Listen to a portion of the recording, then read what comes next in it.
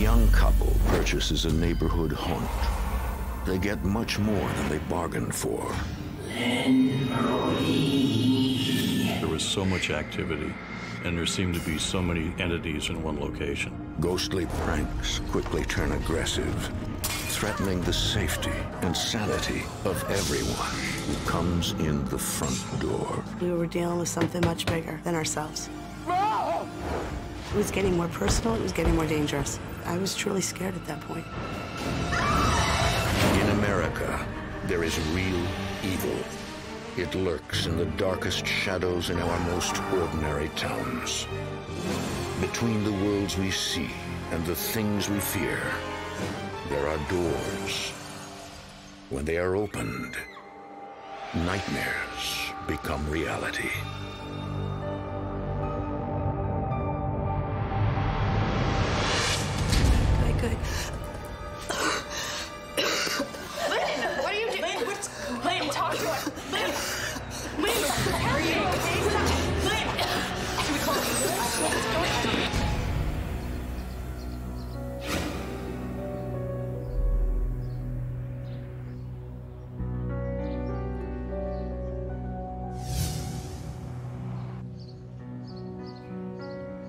2007, Jason Ryder surprises his wife Lynn with an unexpected gift. Okay, open them. What? It's Maury's. We are the new owners of Maury's. Maury's is a popular Meriden, Connecticut restaurant. Oh my God. So Maury's was basically the place that everyone has a story about in Meriden. Because that is the place we all grew up. A lot of people uh, from the town, they would go there. So it was almost like a cheers. What have you done? Jason and Lynn frequented Maury's on dates and dreamed they would one day own the place. I kind of got blindsided by the purchase of Maury's. I didn't know. Jason's pretty good about that kind of stuff. After three months of renovations, Lynn and Jason renamed the bar Riders.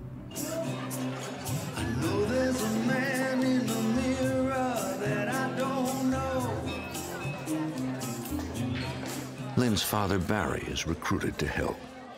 Lynn is a people person. If she has people around her, she's totally happy.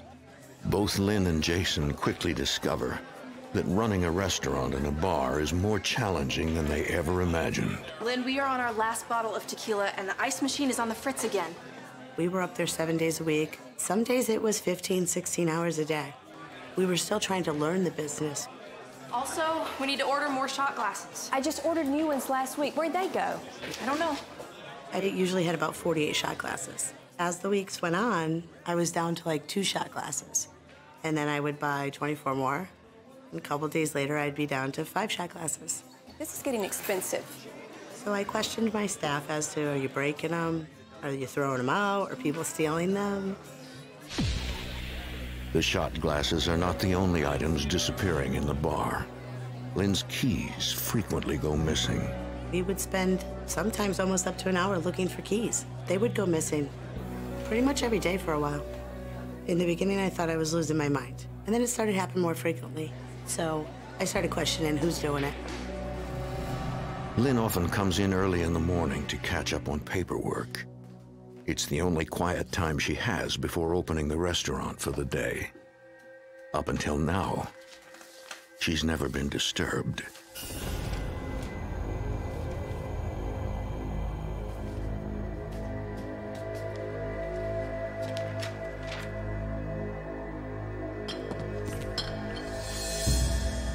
Dad?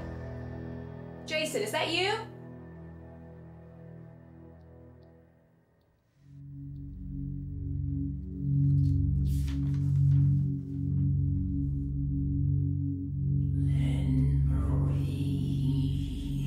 Heard my name, and not just my name, I heard Lynn Marie, which is my full name.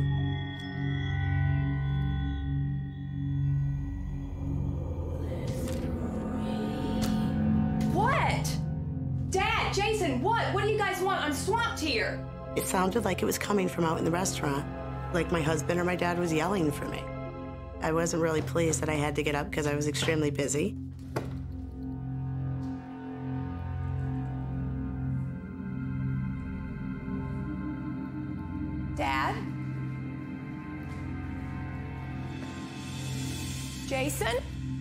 I looked around and the building was empty. And the hair stood up on the back of my neck. I told Jason I felt like I was being watched. He basically just said, Listen, you're tired. You work a lot of hours.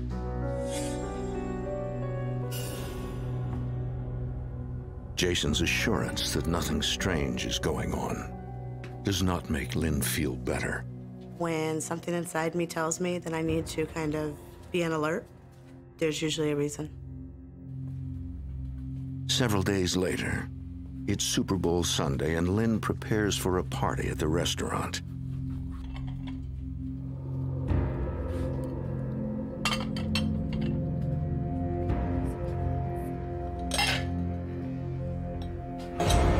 Suddenly, Lynn feels a tap on her shoulder. And then another. The second tap was harder. It was hard enough that my attention needed to be caught.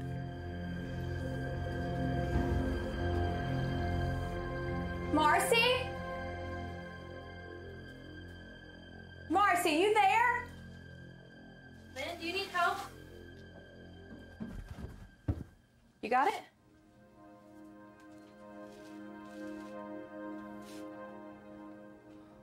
Were you just in the basement? No, Lynn, I just got here. I need to get back upstairs.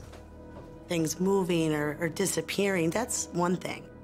For something to be able to come up and touch you, I I mean, it's scary. Over the next few weeks, Lynn continues to have strange experiences in the restaurant.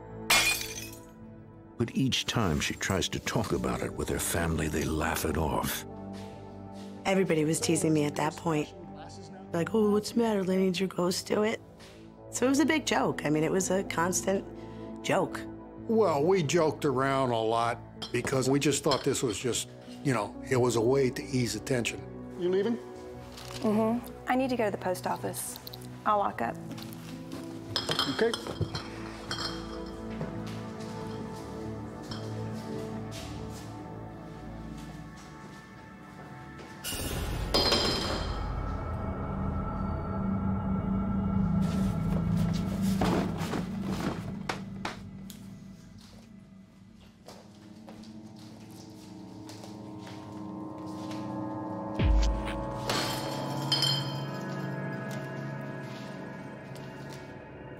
I had beer bottles all over the place.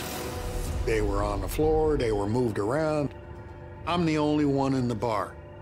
The bar is locked. I cannot fathom how this could have happened. There's no logical explanation. I get very, very uneasy because I can't figure this out.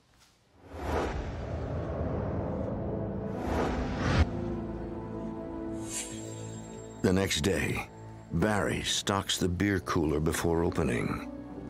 He thinks he's alone.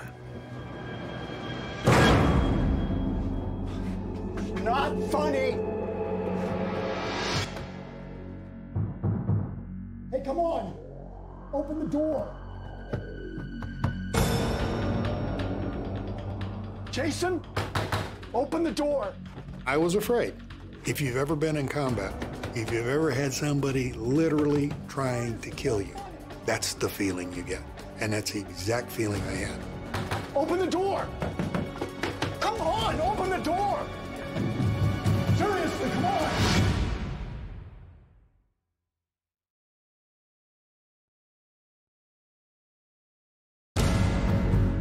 Hey, come on! Open the door! Barry Eichenauer is working alone in his daughter's bar when someone or something locks him in the beer cooler. Come on, open the door! I caught my breath. And now I had to get my wits about me. I had to figure out what was going on.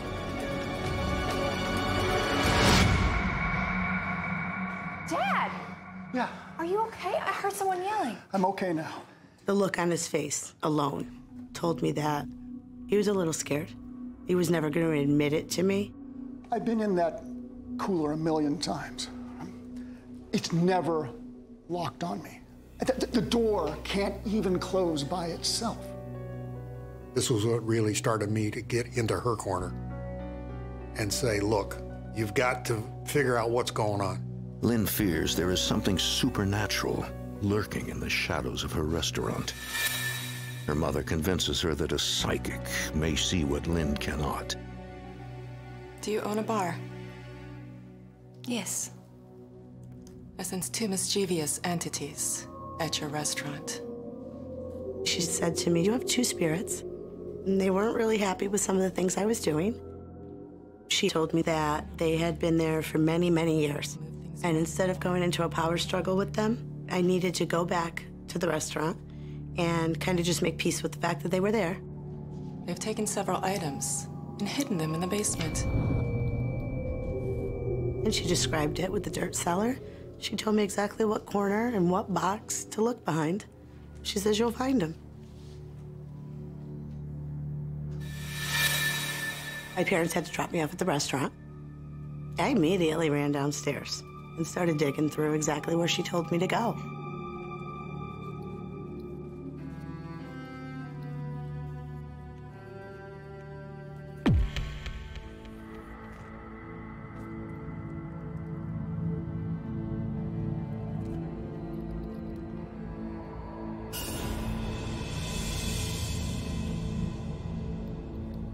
The very moment that I pulled back the last box and found shot glasses, I kind of froze. I did freeze and was like, whoa, okay.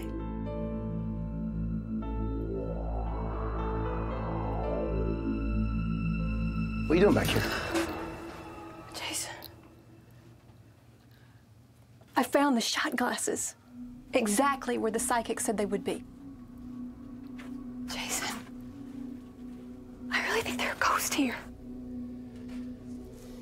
Anyone could have brought those glasses down here. It proves nothing. Don't say anything to the employees. I don't want them thinking they work for a crazy person. I didn't want my wife to pretty much be telling people about this because I don't want them to think that she was a nutcase.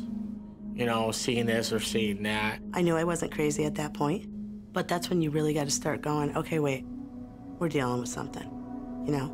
And you don't know what's going to happen.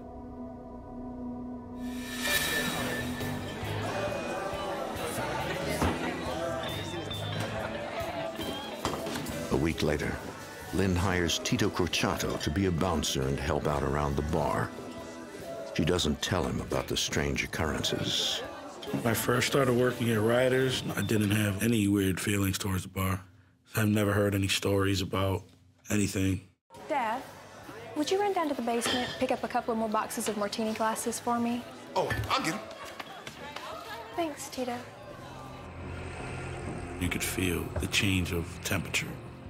It was very cold down there. Who's there? Jason? Is that you?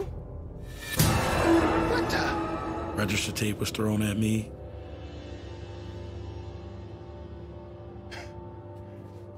Good try, Jason. I thought it was Jay playing around with me, because Jay loves to play jokes. So I thought it was Jay.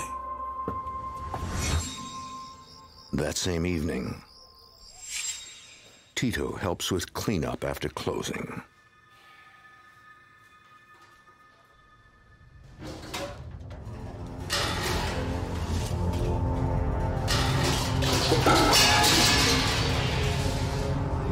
To actually see pots flying off on their own and there's no one back there, that was the scariest moment. That made me believe that there were actually some supernatural activities going on at Riders. Later that night,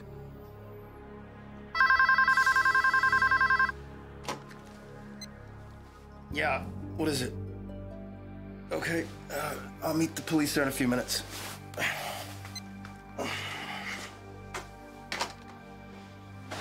The alarm company again? Third time this week. Damn, I swear.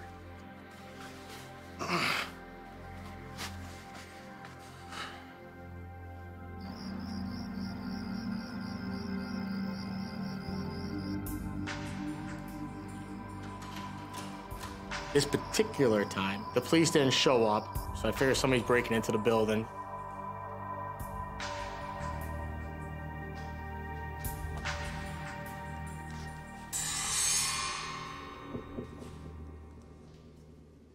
See like three black shadows.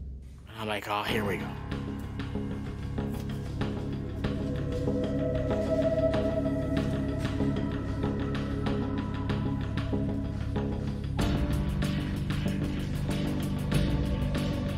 Jason has no idea what danger is just behind the door.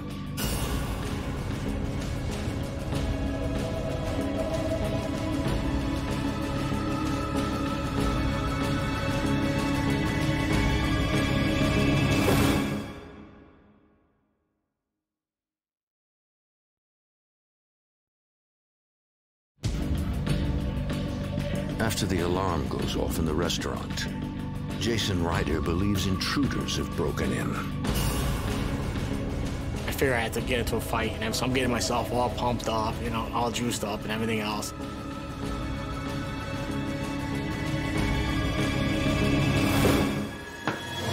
I kick open the door, nobody's there.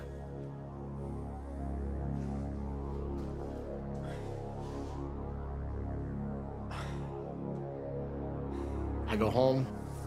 An hour later, the alarm goes off again. Alarm went off like five times that night.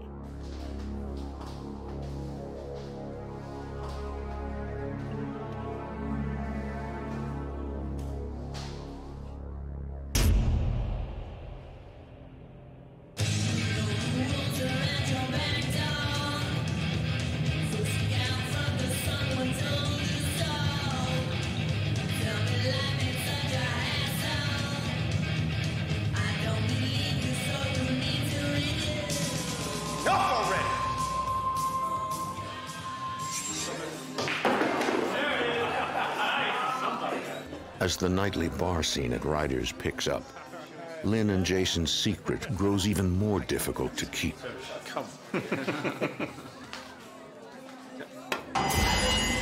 What the? The cue ball came up in the air and jumped over all the other balls and just hit the table. Listen, I didn't touch it. That is not okay. Guys, guys, I am so sorry. We are going to have to have this table checked to make sure that it's level. We chalked it up to the floors being unlevel that night or something. I didn't want to scare people. Okay. Let's get a beer. But the customers know what they saw. Later that same evening, a woman is in the ladies' restroom, alone.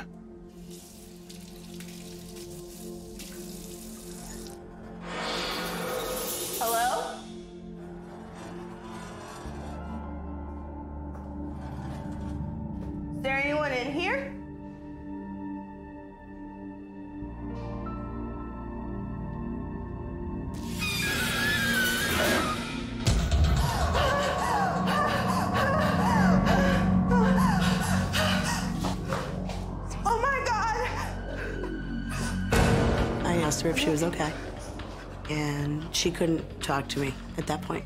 She specifically said to me, I do not believe in heaven and I do not believe in hell. But I do not even know how to tell you what I just saw. You need to see something. She then asked me to please go into my bathroom and look at the wall. I'm sorry. I, I don't know what to say.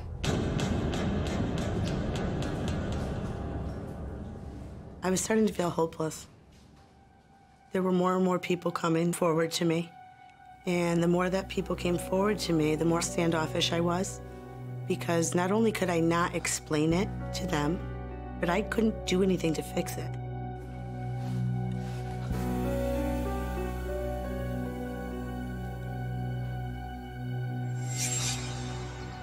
The paranormal pranks at Riders are no longer harmless.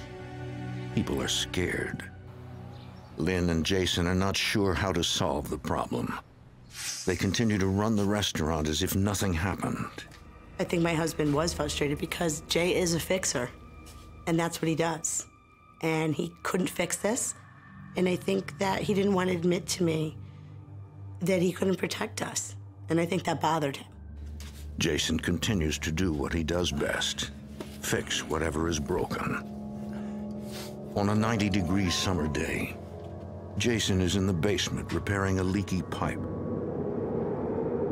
As soon as I went in there, it was like just cold, dry air, like death. I could see the smoke coming from my breath, and it was definitely not a, a cold day.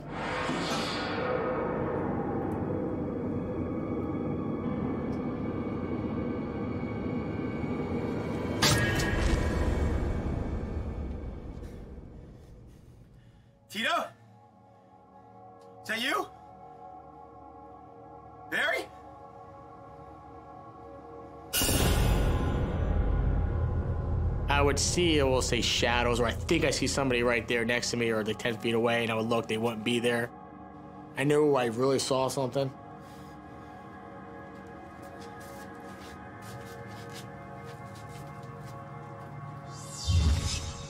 Despite the tension, Lynn continues to go through the motions of her routine. But this morning will be unlike any other.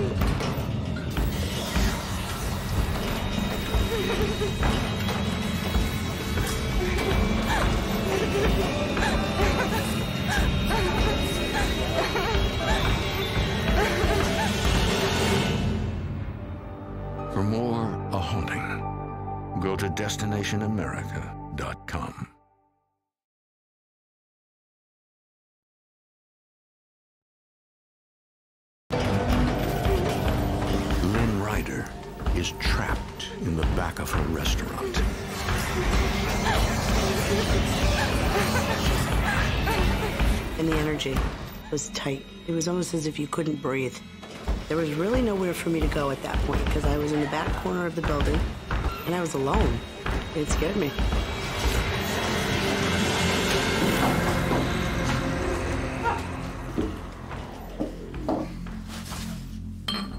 It's one thing to know that there's a presence. It's another thing to know that they know you're there. The fact that it knew my name and not just my first name, it, it bothered me. That was something personal. Lynn reaches out to a friend for help. Clairvoyant and medium Karen Hollis Lynn had a real sense that I wouldn't lead her astray. If she needed some type of therapy, I was going to send her to the right person.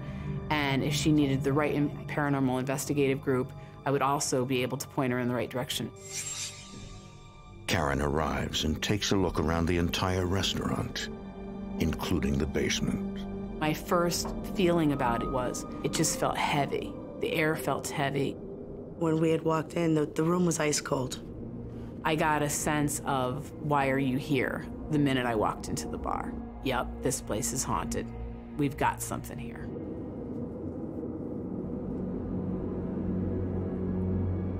It's been my experience that mirrors, specifically antique mirrors, because they reflect back to us our own perceptions on reality, create doorways to other dimensions. And I thought to myself, oh yeah, that's the portal. That's where they're coming through. A portal is a doorway that can allow something from a different dimension to come into our particular plane of existence. Lynn, Karen recommends Lynn get rid of the mirror and that she contact a paranormal investigation team Karen works with. A week later, Karen and the Ghosts of New England Research Society arrive after closing to investigate. Kurt Knapp runs the team. I was very excited to get an investigation underway there. At the same time, I was a little bit skeptical because it just seemed to be too much going on there for any one place. Before arriving, Kurt Knapp researches Ryder's history. We always try to look at the place from a historic perspective to see what happened there. Because in New England, there are so many layers of history. He learns Ryder's was originally two residences built in the 1800s, later joined together to become a feed store, paint store, and finally Maury's before Lynn and Jason took over. Town lore claims two deaths resulted from a fire in 1976. Could these be the ghosts haunting the bar? Kurt approaches his investigations with an open mind.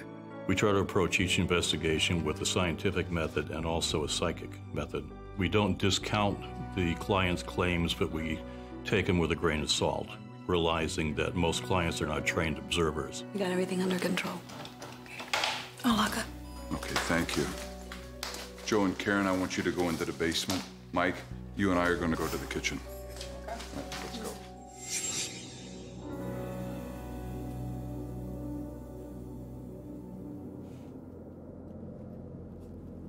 There was a heaviness in the air.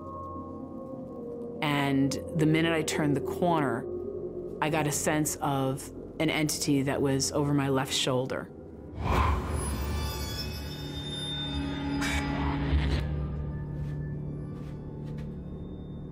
I know you're here. I can feel it. Please come forward.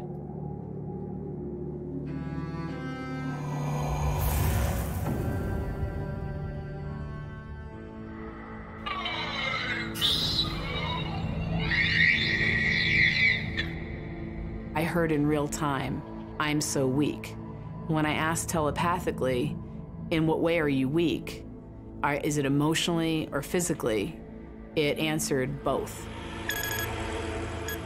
And it was shocking. I heard it, we marked it, disembodied voice. I knew at that point we had a very haunted bar. Karen senses several more spirits, but they will not communicate with her. I felt the presence of at least two separate entities. But many times when you're investigating a haunting, it feels like a game of hide and go seek. The energy moves, moves away from you. So it doesn't want to let you know that it's actually there.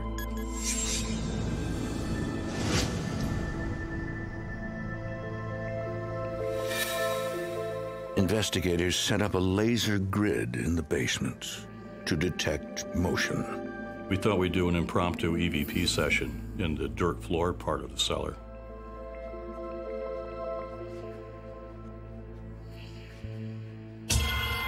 I felt something tap me on the back of the head. I have movement in the grid.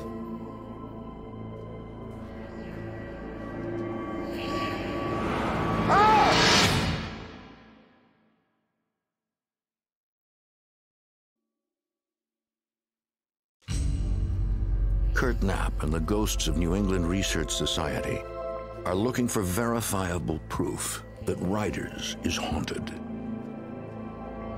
I have movement in the grid.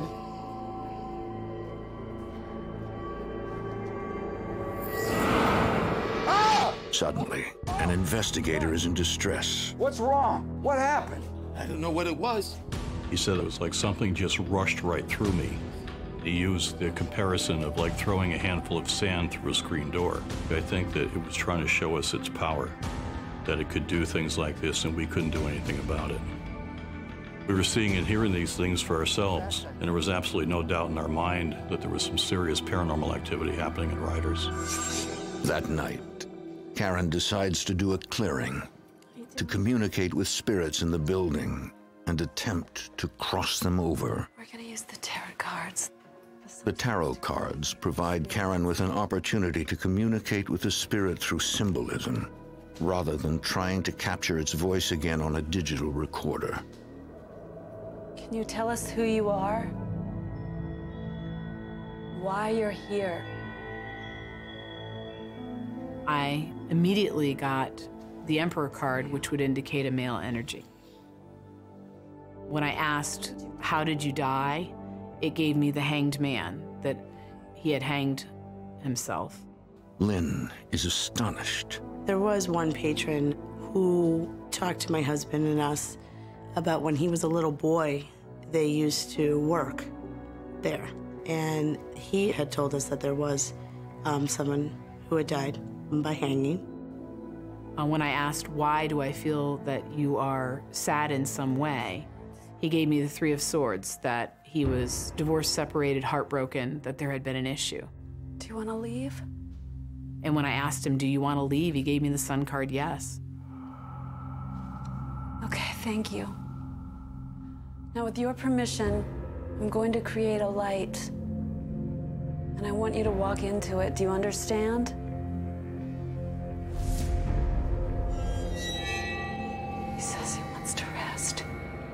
He indicated to me that yes, he would be willing to take the chance to walk into it. I created the beam of light, and then he just disappeared. He's gone. we had released one of the more frustrating entities. But given that the building has so much history, it certainly has more work. Karen believes at least one more entity remains in the building, but does not sense anything sinister. I can't say for sure that there aren't entities or an entity at Riders that wishes no one harm.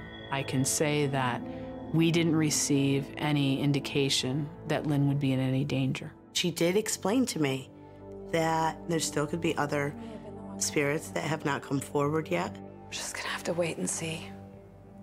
For the next three days, Riders feels like a normal place of business again. There are no paranormal incidents, but are the entities really gone?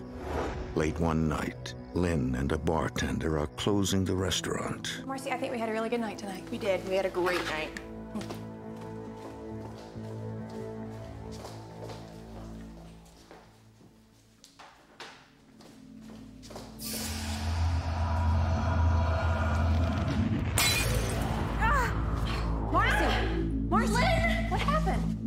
The glass flew off the shelf and smashed my hand. As soon as that had happened, the feeling just came back. Jason? I just saw Jason in the mirror. Marcy, Jason's at home. He hasn't been here all evening. No, I just saw him. I swear I did. The feeling just came back. You don't really say anything to each other at that point, but we knew. We knew. Despite the indication there are active spirits in her restaurant again, Lynn is determined to go on with life as normal. I had invited a couple of my girlfriends over, and because I work so many hours, we were in the back. Let's talk about her new job. Yeah. yeah, I'm starting next week. Yeah? We'll see. I'm ready to quit before I start. No, I'm just, no, no. You can do it. You, I know you. You can do know, anything. You can do it. It's so gonna nerve wracking. But it's exciting, It- right? No, it's really exciting. It's really exciting. New opportunities and everything. Yeah? See. Good, good, good. Lynn, what are you doing? Lynn, what's, Lynn, talk to us. Lynn, Lynn, are you okay? Stop. Lynn, should we call an ambulance? I don't know. What's going on? It was not okay.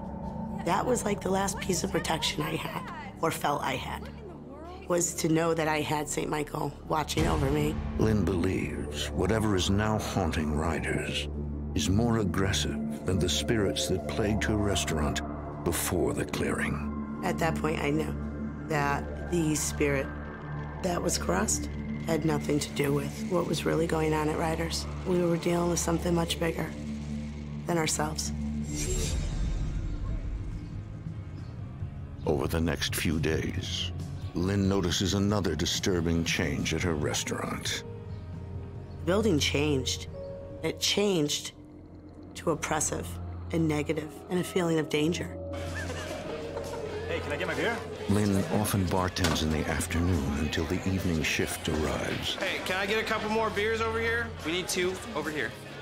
I've been waiting for my drink forever. This afternoon is unusually busy. The service is horrible here.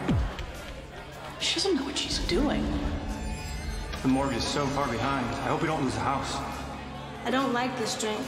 I hate my hair. My drink tastes terrible. My kids are getting bullied constantly. She's so slow, and I don't even know why they keep her around. Lynn believes she's hearing everyone's thoughts. I started hearing people talking. They truly weren't speaking. In my mind, they were speaking. She's so slow, and I don't even know why they keep her around. Service is horrible here. You can't protect your children. I don't like this drink. My drink tastes terrible. She doesn't know what she's doing.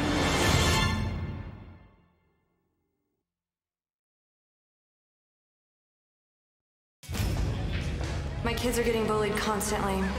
She's so slow, and I don't even know why they keep her around. For Lynn Ryder, an afternoon at work suddenly takes a dark turn. I was hearing people's thoughts directed at me. It was as if I was being attacked by 57 people. I was just hearing nasty, negative things about me. You can't protect your children. I don't like this drink. My drink tastes terrible. Your business is going under. At that point, I knew I had had it. I had to call my, my family to come in. Lynn? Lenny? What's wrong? What's going on?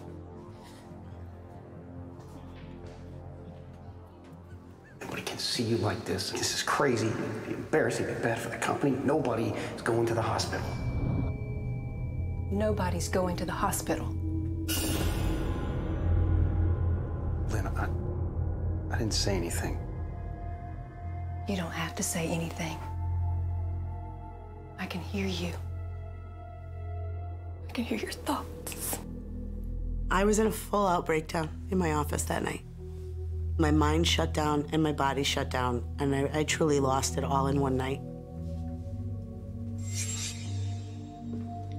Jason convinces Lynn to take a break and stay away from the restaurant for a few days. I was worried about her. She's like my partner. She's partner in business. She's my partner in life. She's the mother of my children. Lynn, it's not worth it. Jason also tells Lynn it's time to give up their dream. The business is not worth it. I'd rather see her uh, just let it all go. We've worked so hard. Something had to be done to relieve the pressure. A little bit of hope and prayer.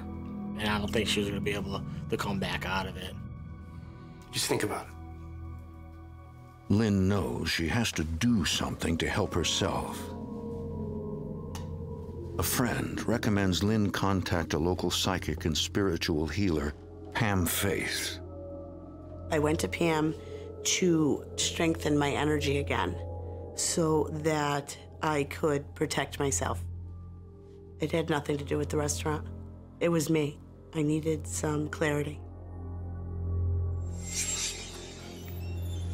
But Pam immediately zeroes in on the problems at Ryder's and asks Lynn to see the restaurant. She said that we needed to deal with the building before I could deal with me personally. Pam asks that her identity remains hidden.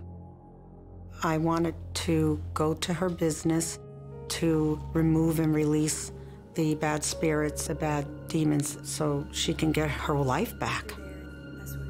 Pam believes something dangerous is now haunting riders. I'm sensing several spirits and a demonic presence. I believe it's in the basement, and it's extremely dangerous. The dark ones, or negative ones, whatever terminology you want to use, their intention is to harm either physically, emotionally, mentally, spiritually. The bad ones want to break you down. I believe we were dealing with demons. We weren't dealing with human spirits. I need you to stay here in constant prayer. Pam will attempt to clear each room in the restaurant with prayer and by encouraging the entities present to move on. Hail Mary, full of grace, the Lord is with thee. God the Father. When you're dealing with regular spirits, they need help, healing, in other words. So I, I will help them to heal and go to where they're supposed to go on the other side.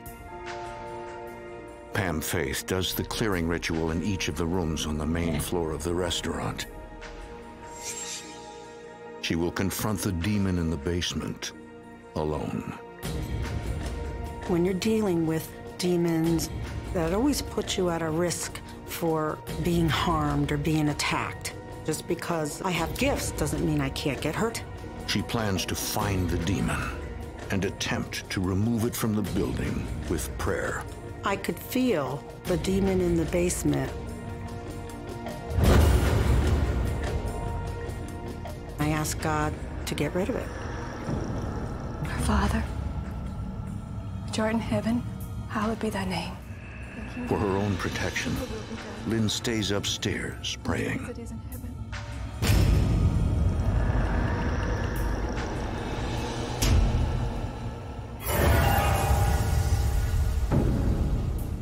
It is in heaven. Pam senses the demon.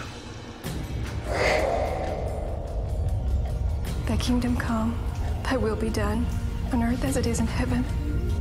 Our Father, rid this place of its evil. Allow it to go.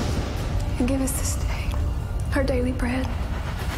Our Father, rid this place of its evil. Allow it to go. And forgive us our trespasses as we forgive those who trespass against us. Our Father, rid this place of its evil. And lead us not into temptation, Allow it to go. but deliver us from evil.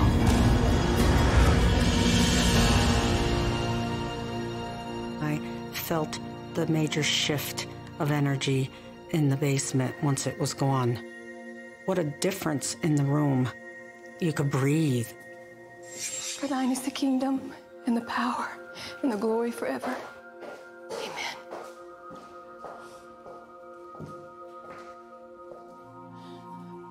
Lynn?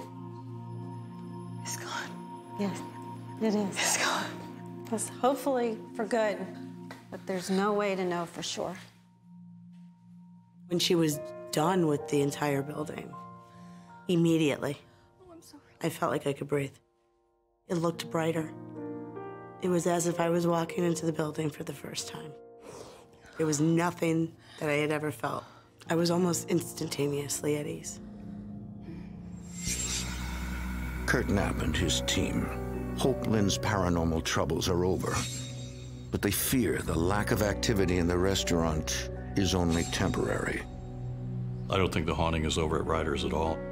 I think that there probably will always be some type of paranormal activity there. For Lynn, the experience has brought her closer to her family and made her a stronger person. I do feel that I'm stronger. It's strengthened my belief in God uh, and my religion and my faith. After going through what I've been through, you know, um, I can deal with it. It's only life. I think she's a better and stronger person now than she was when this all started. Once you deal with that type of entity, and especially a demonic force, there's always a way for them to get back in. I know that I will have to protect myself and my family the rest of my life. They don't forget your names. They don't forget who you are.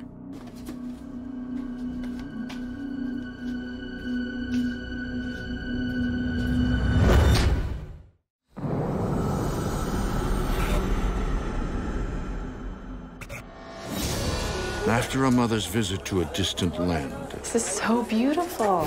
turns violent, No begging. He just pushed him down and started kicking him. her daughter begins feeling watched at home. It was like that feeling when you know someone's there. It was a ghost, a spirit. A mysterious intruder lurks, and she is not at peace. I was like constantly terrified. I was really scared. In America, there is real evil. It lurks in the darkest shadows and in our most ordinary towns. Between the worlds we see Someone's in my room. and the things we fear, there are doors. When they are opened, nightmares become reality.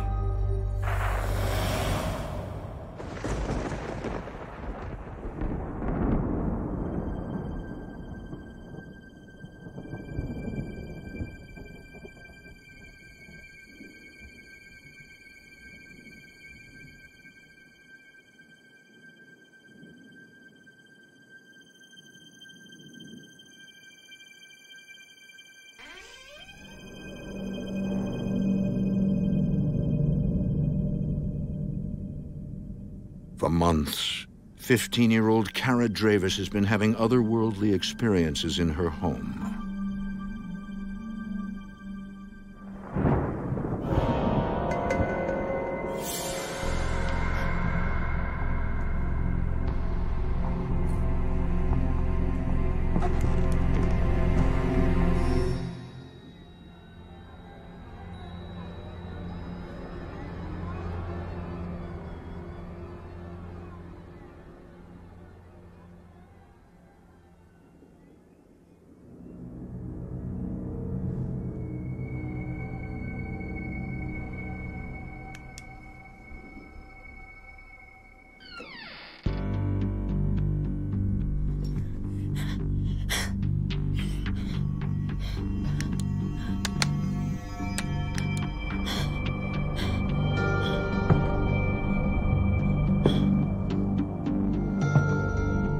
Like that feeling when you know someone's there, when you can just tell.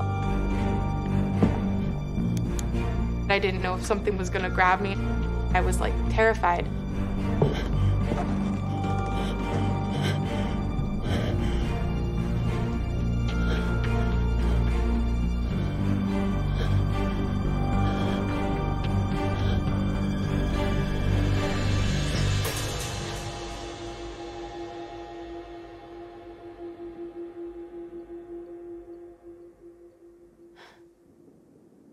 I kept telling myself, this isn't real. You're imagining it. You're imagining it.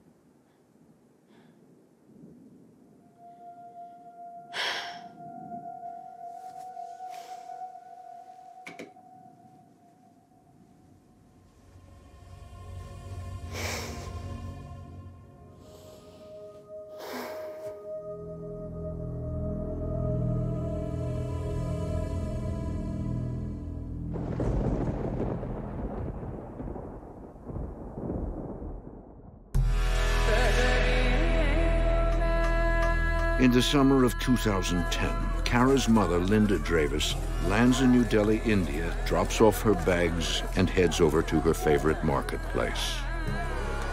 I am an international in-flight manager for a major airline, major U.S. carrier.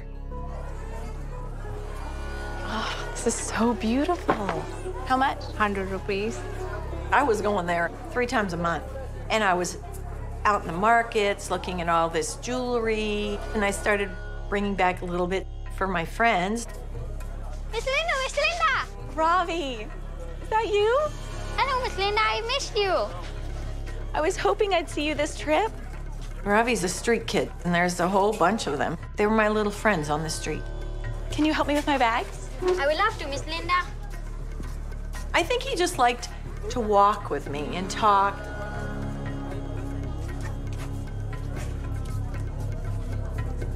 So beautiful.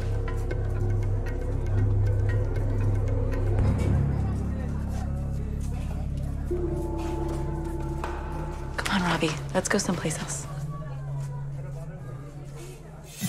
How many times have I told you no begging, huh? He's not begging, he's with me. I'm like, no, no, no, no. I've known him for two years. He's never stolen anything from me or begged. Madam, you go do your shopping and you leave him to me, okay? Come here with me. You never listen to me ever, do you? Robbie! You have a problem listening? You, eh, come back in. Now you want to run away from me? Get off of him! Dirty street Get rat. off! Please, Stop don't- it! no, don't hurt me, I didn't no! Get off him! Get off him! Run! Run! Get back here! I told you, he was helping me. He's garbage and should not be in this market. What's wrong with you? These kids are lower cased. I don't think they want other nationalities, Americans, tourists, socializing with them or being friends with them. It was very upsetting to see a human being treated like that.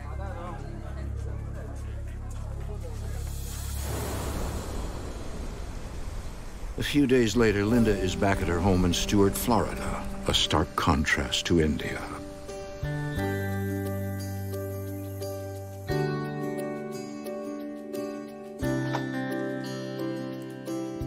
Hey, sweetie, how's school? It's okay. Got an A on my science test. That's awesome. I knew your studying would pay off. I was a single mom. I never had any issues with Kara. She knew I was doing my best, uh, being a mother and father, and she tried to make it easy for me. How was your trip? This is pretty. I got that one for you. We had a pretty good relationship. My dad left when I was little, so we've always been pretty close. I talked to her about everything. Here, let me put it on. My trip was interesting. You know Ravi, the boy that helps me in the market? He got in trouble because of me. Because of you? He's an untouchable. In his culture, he's not allowed to talk to people like me.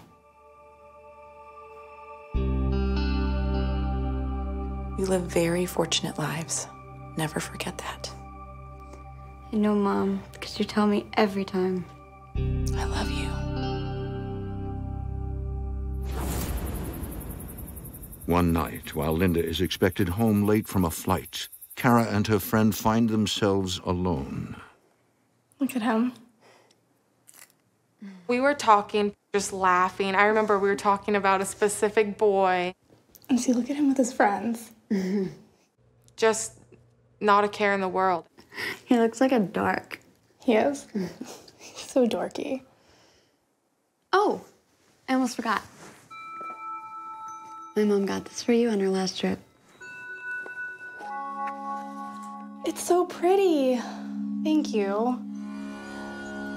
Do you think uh, Jason might notice it? I hope so. What was that? Uh, what are you talking about? I thought I heard something.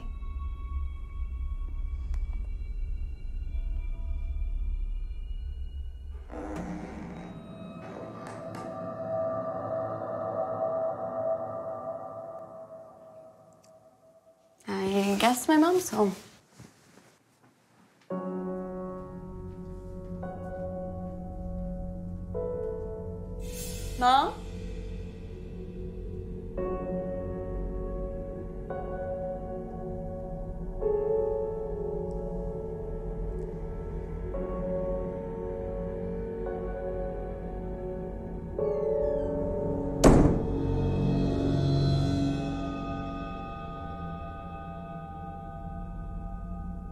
Lexa, it's not funny.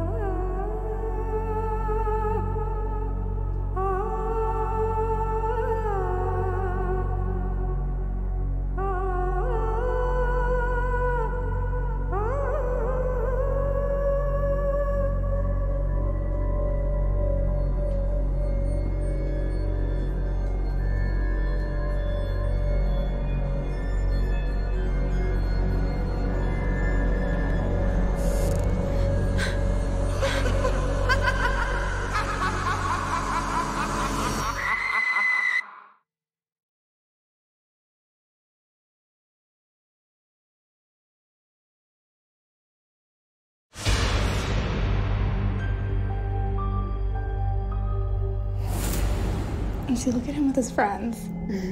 One night, while home alone, Kara and her friend experience the scare of their lives.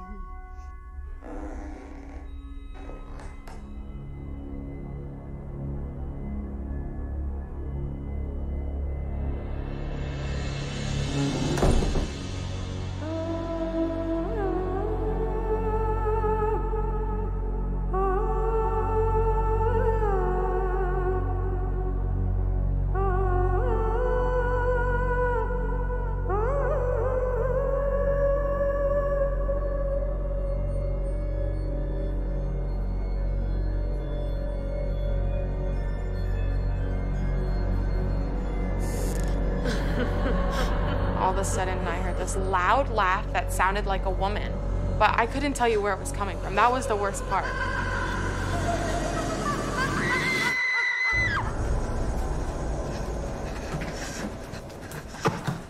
Kara, are you all right? What, what happened? What was that noise? I don't know. I think there's someone in the house. Where are the knives? Top, top drawer.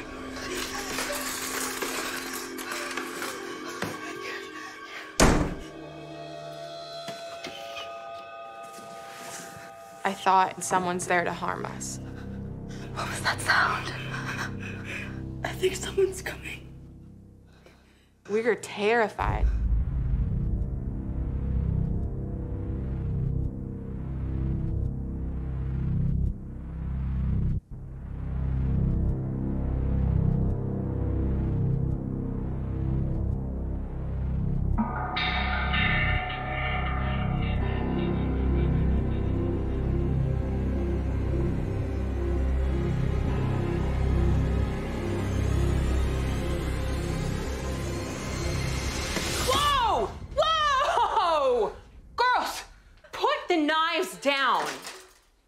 Mom came in the door and she was upset.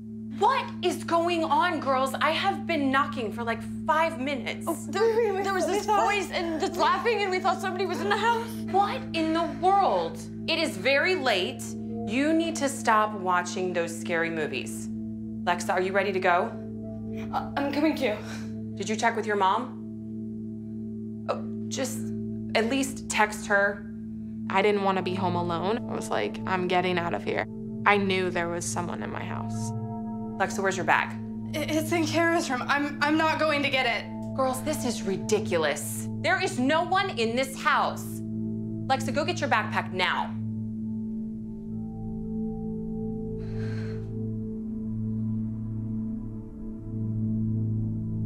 If you're coming with us, let's go.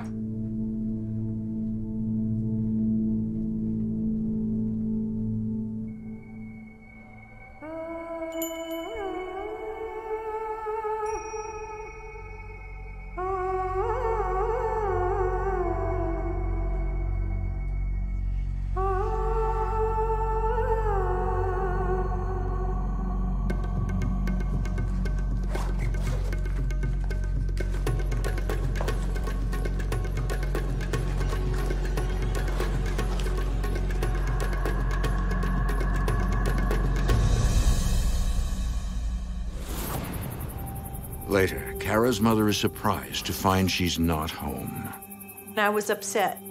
I said, Kara, I- I just talked to you an hour ago. You're supposed to be home. You can stay at Lexa's now because you've already made her mom come out once, but I want you home at 9 o'clock tomorrow morning.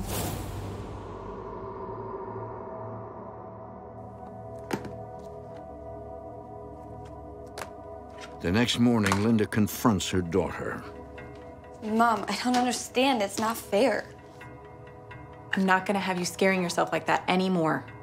I accused her of watching scary movies, which made them freak out. I said, Kara, grab up all those scary movies. We're throwing these in the trash. After playing the event over and over in her mind, Kara makes a realization. Mom, you don't understand. There was something in the house. It was laughing at us. We weren't even watching scary movies.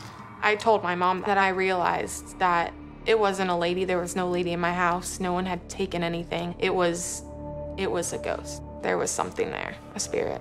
You're being ridiculous. There's nothing in this house. No more movies. And you know what? No riding lessons for a month either. Mom. I'm like, Kara, I need to be able to rely on you. You need to grow up. You need to be responsible. How can I do this if you are not on my team? It was just really hard because she didn't believe me.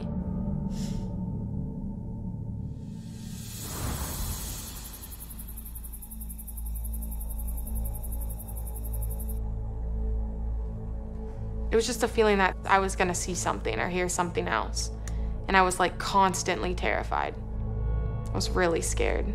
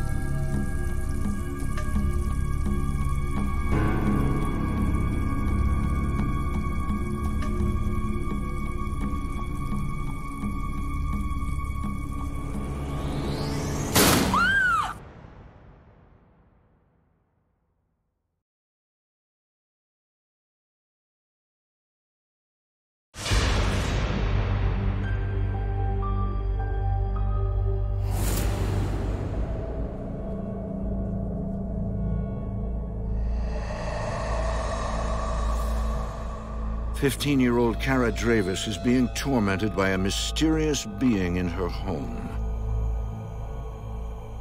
It was just a feeling that I was gonna see something or hear something else. And I was like constantly terrified. I was really scared.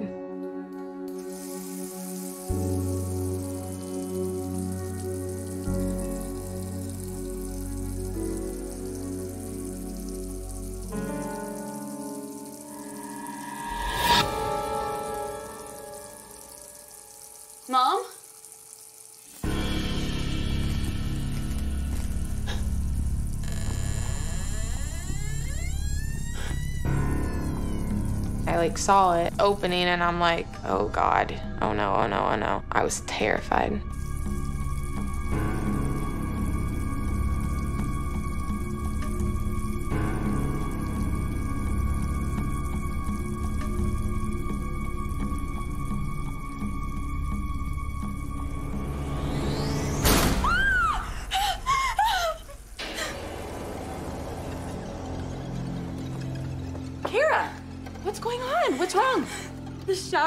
My bathroom opened and closed by itself. What do you mean? I mean, something pushed it. She was scared to death, and I was trying to remain calm. Are you sure? Why don't you believe me? There was something in the house the night that Lexa was here, and it's still here. I knew something was there. Like I was I was positive. All right, all, all right. I don't know what's going on, but I'll figure it out. Okay? I'll figure it out. I said there was a logical explanation. I will find out what it is.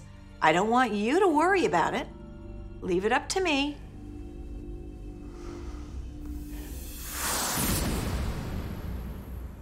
Determined to get to the bottom of what's going on, Linda contacts a home safety expert.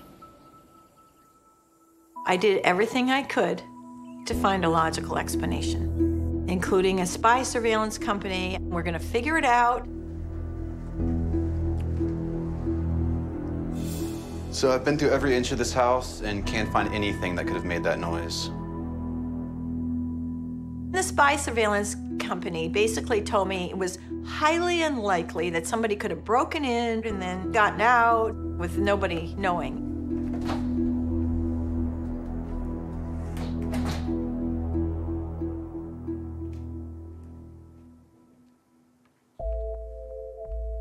I was trying to act like everything was normal, but I didn't know what to think.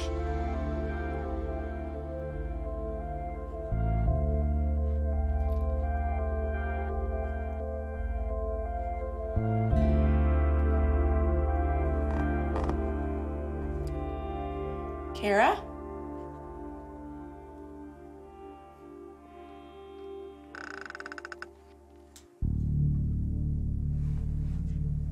All of a sudden, I was nervous, really nervous.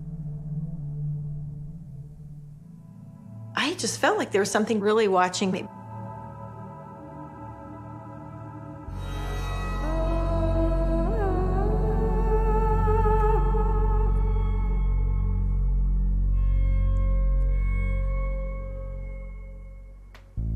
But Linda, an international flight attendant, has been working long hours. I'm working my butt off. I don't have time for this nonsense. You know, I figured I'm imagining it.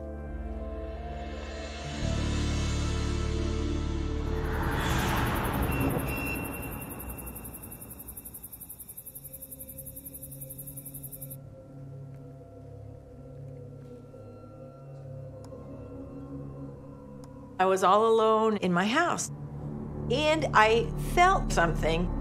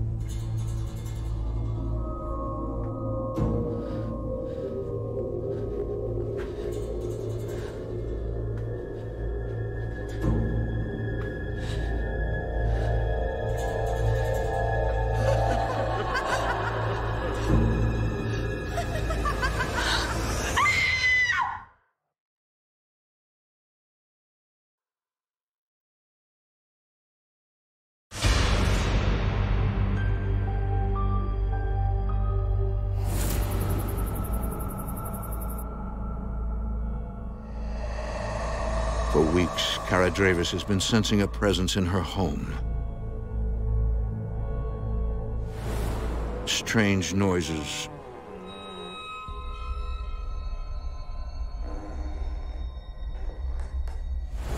A woman's laugh.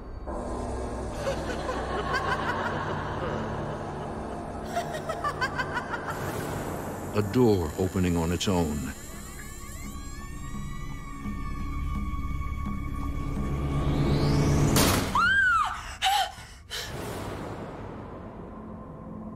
Now, it's her mother's turn.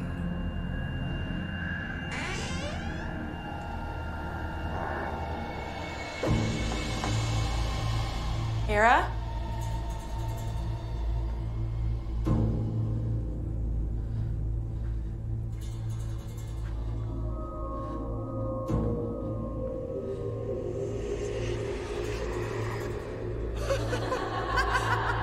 That sounded unworldly. I don't know where it was coming from. It was just everywhere. It was scary.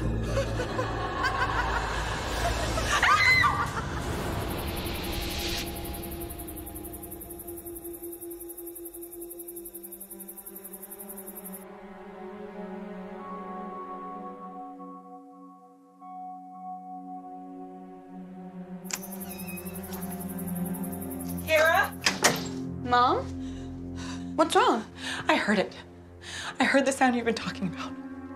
I saw a figure like a woman, and I heard that laugh. It's like a high pitched evil sound. Mom, that's exactly what I've been telling you about. So sorry I didn't believe you. I didn't believe my daughter. I don't think I wanted to admit it because I was the one that was uh, going to fix the whole thing. I was wrong. It was like such a rush of relief. Like she believed me. I knew she had heard the noise. What are we gonna do? I don't know, but I'm gonna figure something out. We're gonna be okay. But after that, it wasn't just me scared, it was her too.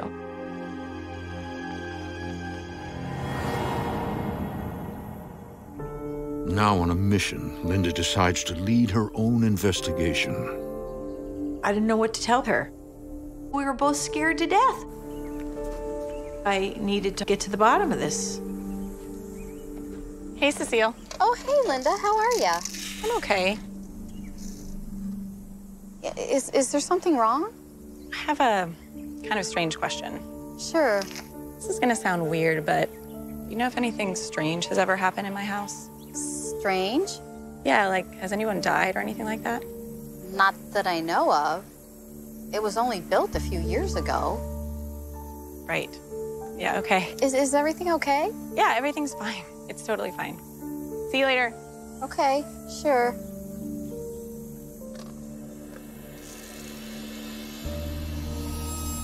I went to all my neighbors and asked them if they had heard anything, and nobody knew anything. Still, I felt better because my mom was trying to figure out what it was.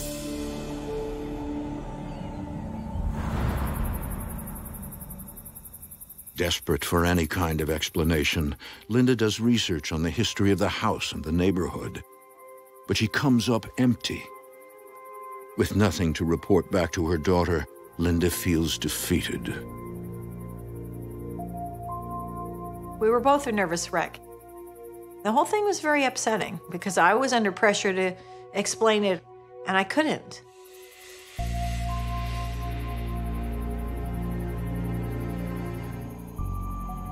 Kara begins spending as much time outside the house as possible, often escaping to the pool.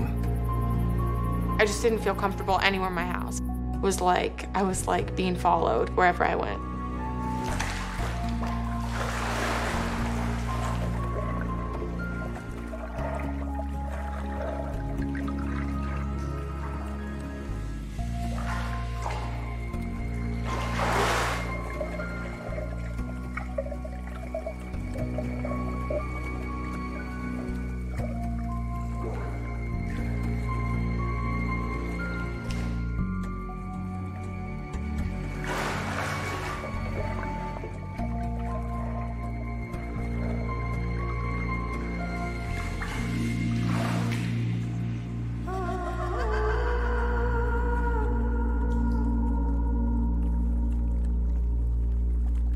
I was definitely nervous, and I felt watched.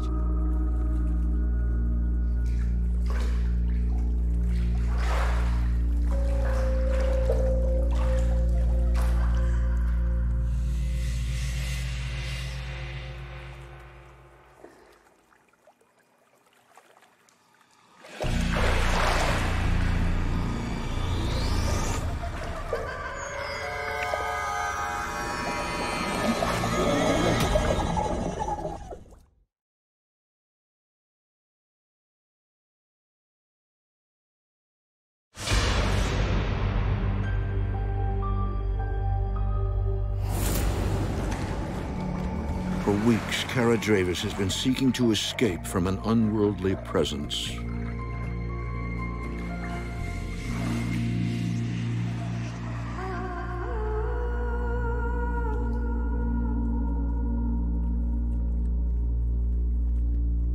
Didn't want to be in the house. I would sit in the garage or I would go to the pool.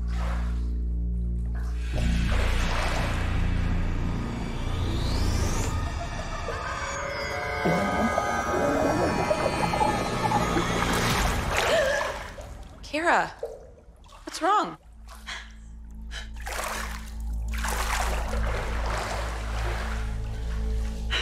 I thought I saw someone. Come on, it's time for bed. I don't want to go in there. I'm gonna protect you. I'm gonna find a solution. I don't want to live here anymore. Kira!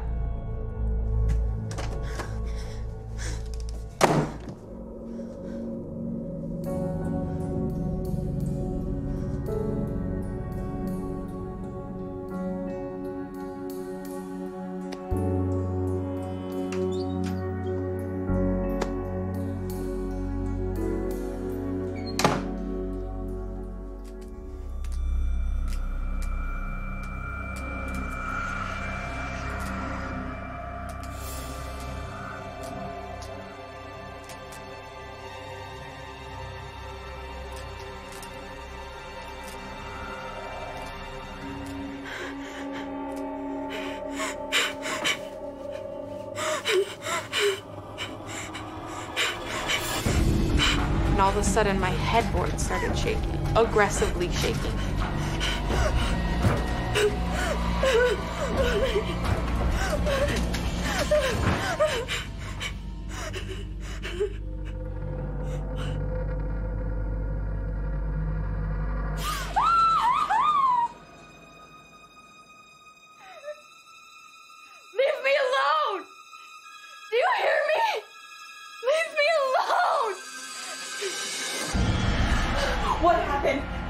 Was upset.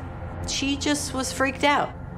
My, my just started shaking like crazy, and then I, I felt something grab my arm. I thought I was not gonna survive in the house. I had no idea what was going on. Come on, you're sleeping with me. I decided she wouldn't sleep in her own room and she won't be in our house alone. Over the next few weeks, Linda is at a loss for what to do. I basically felt like I'm going to sell the house. We have to get out of here. We cannot live like this.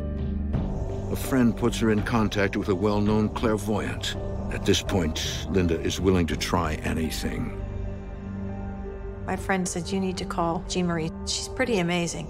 So I put all my hope into this one woman just to come here and tell me what's going on. Thank you for coming. We've been so scared. It's okay. I'm here to help. When I walked into her house, Linda, she was so frightened and she didn't know what to do. Jean Marie's soft spoken, but immediately you like her. She's just full of love. She's calm, she's serene. As a clairvoyant, Jean Marie has the ability to see spirits and receive their messages.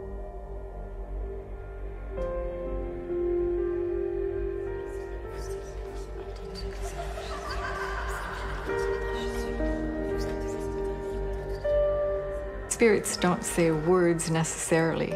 Most of it's a different way of communicating. And what would come was a feeling.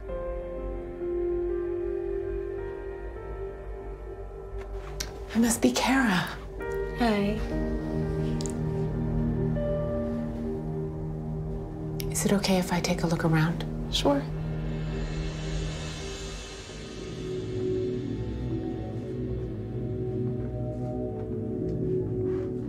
As she walks through the house, Jean Marie finds herself drawn to Kara's room.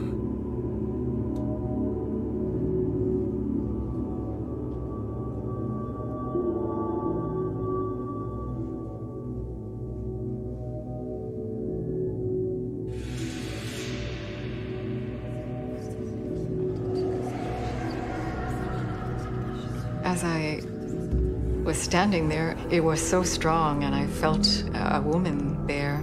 She needed to communicate.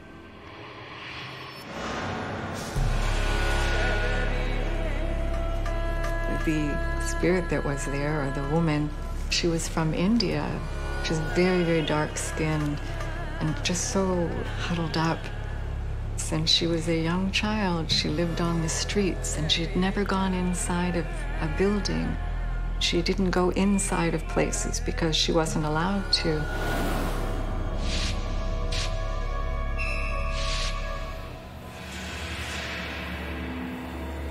Hey! Get out of here, you dirty beggar! Go! Get out! Please, sir. I have nowhere else to go. I Said get out of here! There's no room for garbage like you! Get out! Please, sir. Put your hands on me! You filthy beggar! You were born a beggar! And now you will die begging! Beg!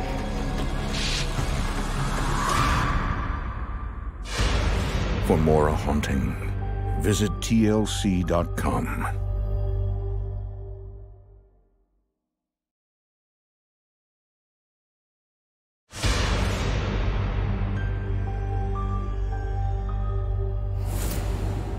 Clairvoyant Jean Marie is receiving a horrific vision from the spirit haunting the Dravis Bitch home. like you! Get out!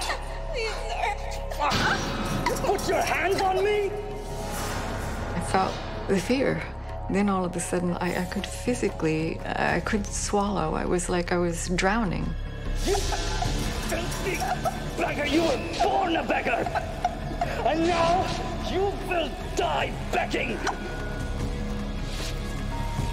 Beg!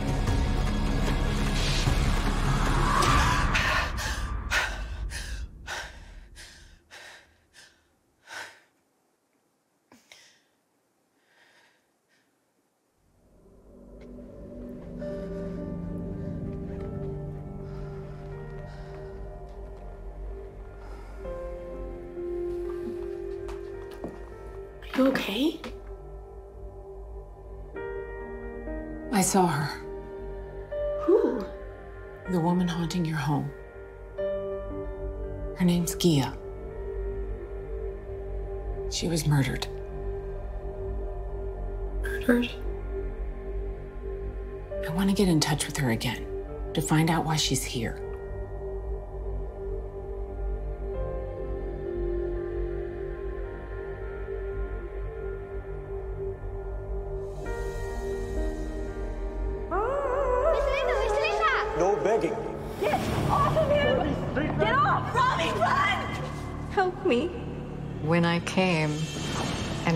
Immediately was able to see her and communicate with her, Gia was like, oh, you can help me to tell her. That was huge.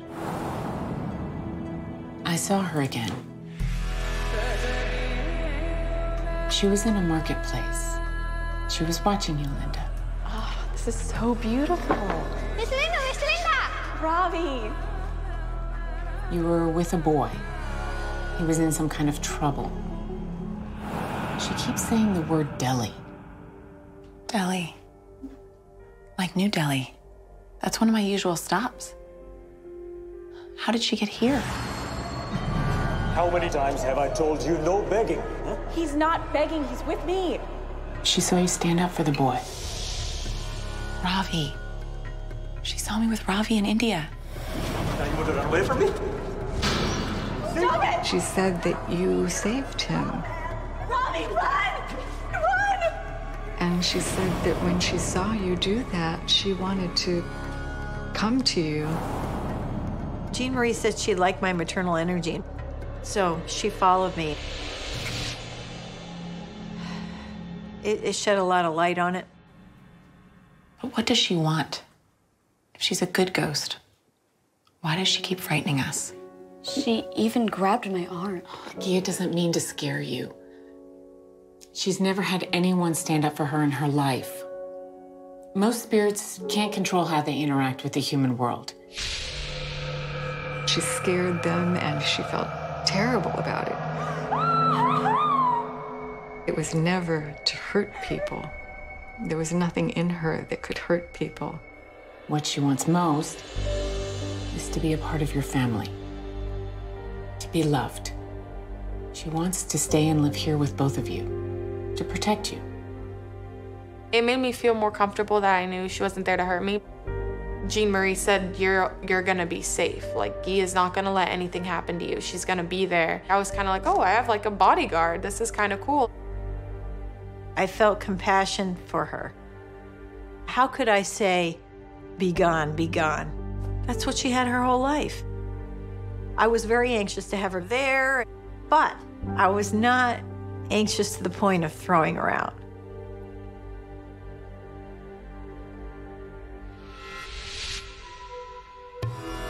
Kara and Linda follow Jean Marie's instructions on how to make Gia feel at home.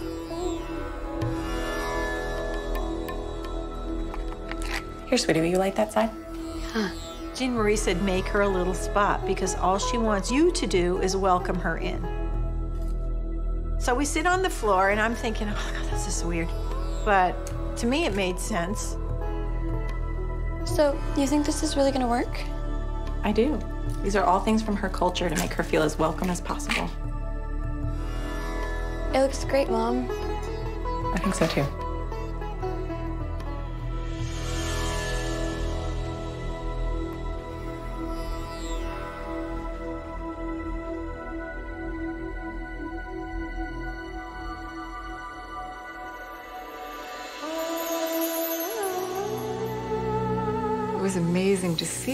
Could see she had changed. She had positive emotions. She loved them. They, they had actually accepted her.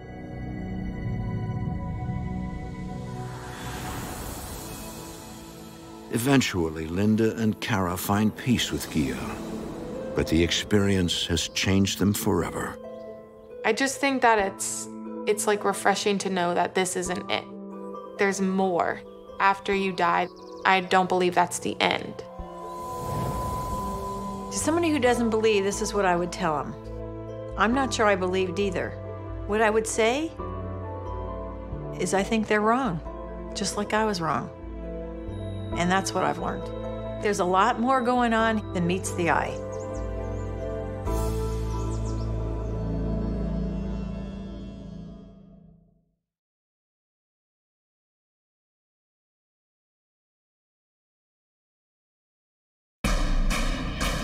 This world, there is real evil.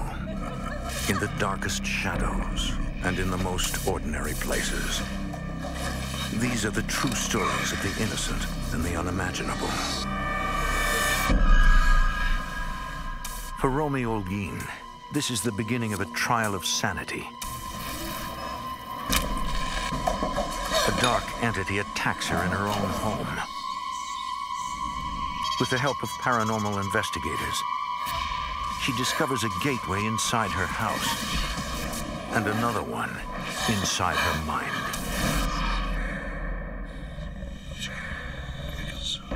Between the world we see and the things we fear, there are doors.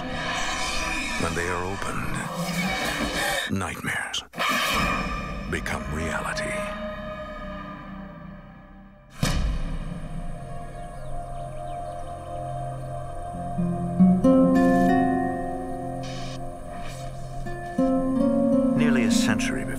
Tucson, Arizona became part of the United States, Spanish missionaries came looking for souls to convert.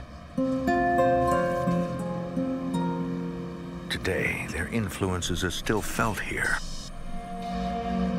Proof that the past is never completely dead and buried.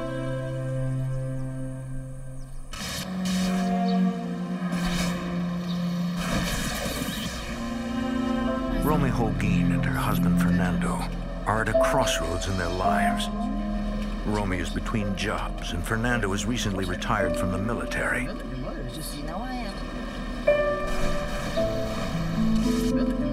They have four children and are staying at Romy's mother's house while they search for a new home. One day, they decide to explore a new neighborhood. Romy senses that she is being pulled towards something. I noticed this house that had like overgrown weeds that was very run down. I said, I want to look at that house.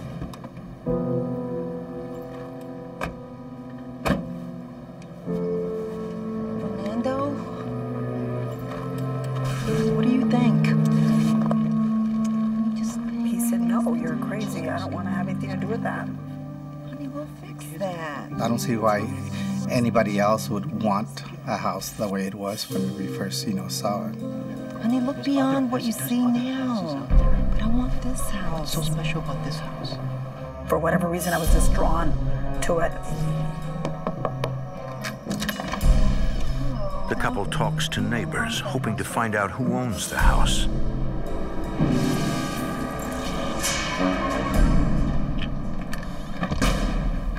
They learn that it is abandoned. No one ever stays there very long. That night, Romy begins making calls to locate the owner. For some reason, she is obsessed with the prospect of buying the abandoned house.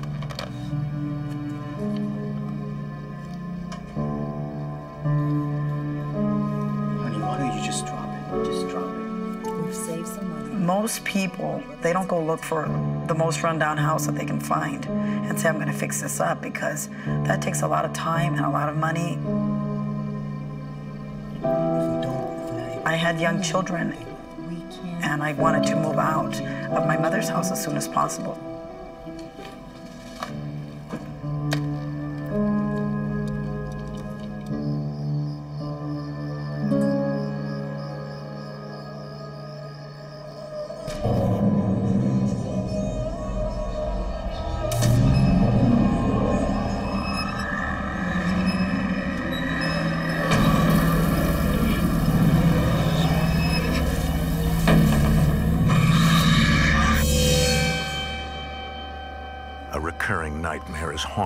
Since childhood.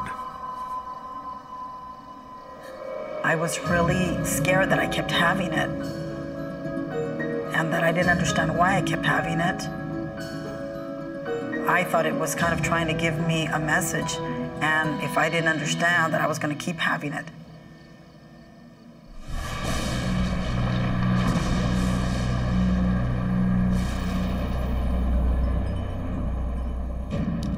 Romy eventually tracks down the owner of the house and makes a deal. Honey, we can get the house. I've gone over my bills.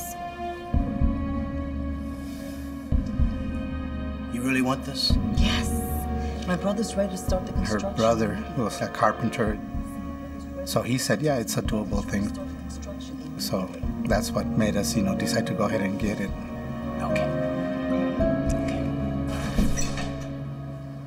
After months of renovations, the Holguin family moves into their new home.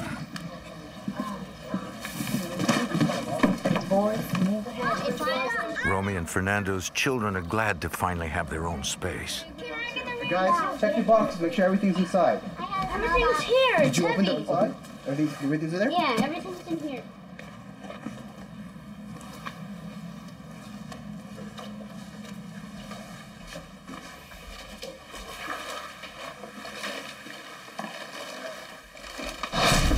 So yo.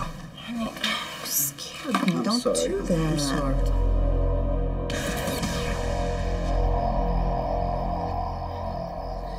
After nightfall, several members of the family are awakened by faint noises. Veronica and Angelica think they hear their brothers talking at the other end of the hall.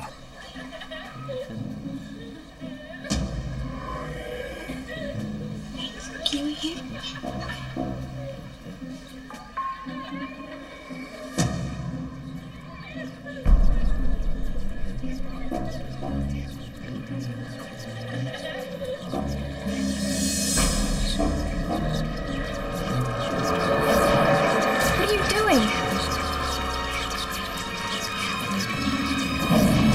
Not doing anything. I'm back here. I look behind me and she's standing behind me and I'm thinking, oh no. What's in the bathroom?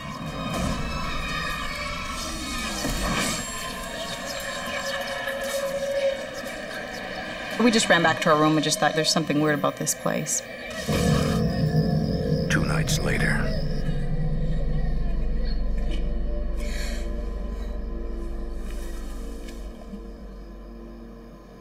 I could sense that someone was there.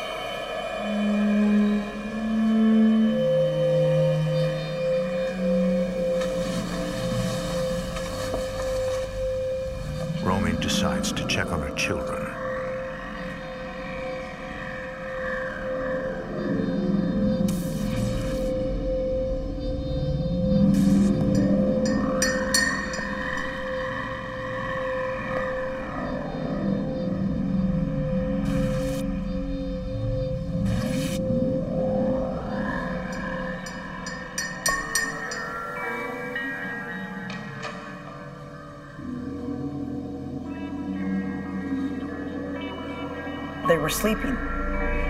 They were sound asleep.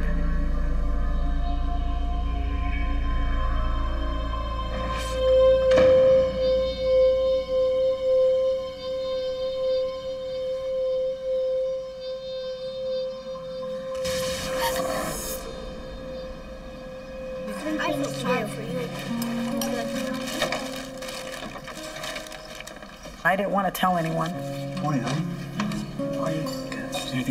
because I didn't want them to think I was crazy. I'm just so tired today. Take some coffee, okay? So I kind of kept it to myself. I don't really like it. I always kept thinking maybe there is an explanation for it. Is that good? A few nights later,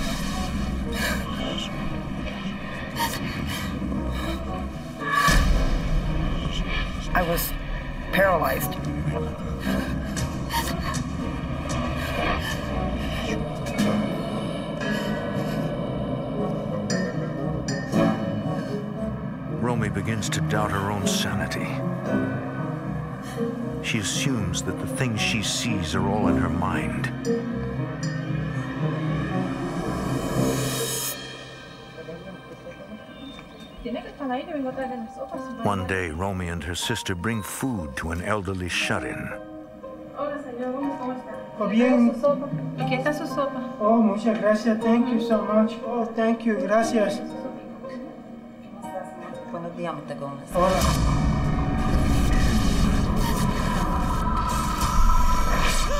There's a black spirit in your house. The moment that he shook my hand, he said, There's a spirit that lives in your house. Please sit down. Please. I don't even know him and never had seen him or anything. The man says that he is a clairvoyant. Usted ha tenido estar viendo He tells Romy not to be scared and suggests that she follow the dark spirit to find out what it wants. Have you followed him? I said, No. I don't care what he wants. I don't want to go there.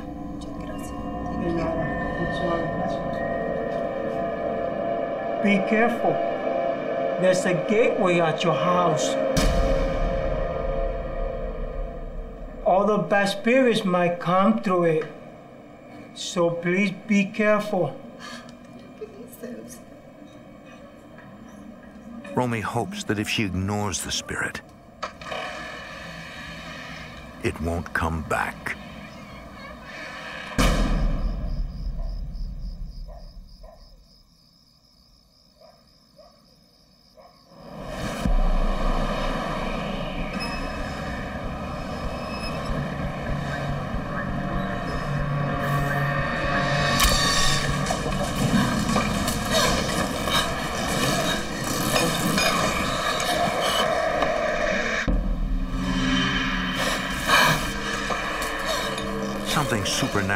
Attacks Romy Holguin in her own bedroom. Fernando, wake up! Fernando, wake up! I was just so scared. I felt as if though dead people were trying to contact me. I had an uncle that would always say, You should never fear the dead. It's the live ones that'll, you know, hurt you. But I, I beg to differ. Fernando tries to be supportive, but he is unsure what to believe. It was kind of hard because there was really nothing I could do other than just listen to her and try to comfort her.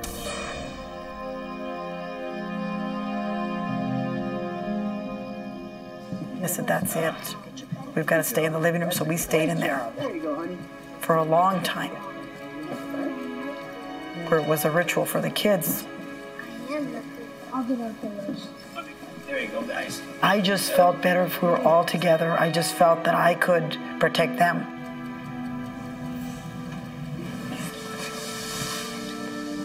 One night we were settling in in the living room, and my son says to me, Mom, I know why you want us to sleep in the living room. What are you talking about, baby? Because of the man in black. When he said that to me, I literally started crying and felt really ill. Come on, baby. If I saw it, it was okay, but I just, I didn't want anything to happen to them.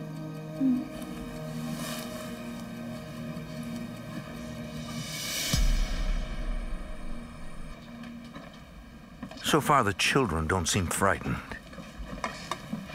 Man in black, I can't take a chance. You're scared. But Romy cannot ignore the likelihood that her house is haunted. Every single day. Told my wife that if she was that scared, that we should just, you know, sell the house and move. This is our home. I know, but after this, no. But she told me that she would never sell the house. Fernando, we are not moving out of this house. We have to move out of this house. Romy believes that she alone is the target of whatever haunts the place. We're not leaving. You're scared yourself. The family cannot afford to move, Think about it next time. so she decides to silently endure her restless nights as long as her children remain safe. Romy is very, very strong, strong-minded, strong-willed, and she never showed like she was really scared. But I think that was so that the children wouldn't be scared themselves.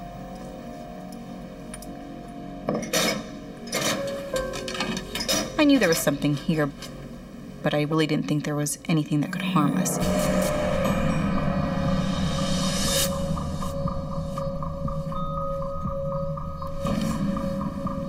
Soon after, Romy feels something tugging on her as she sleeps.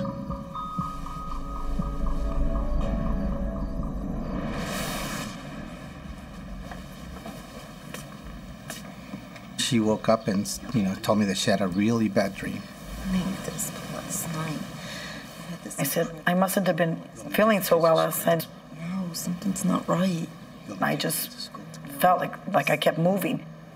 He said, You did. You ended up almost in the middle of the bed, and you were very, very restless.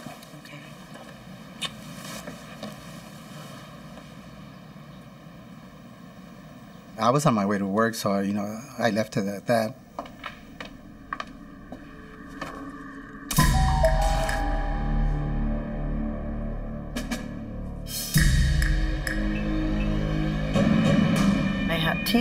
Along the back side of my arm.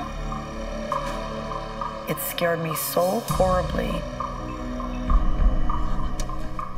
All I could think of was getting out of there as fast as I could.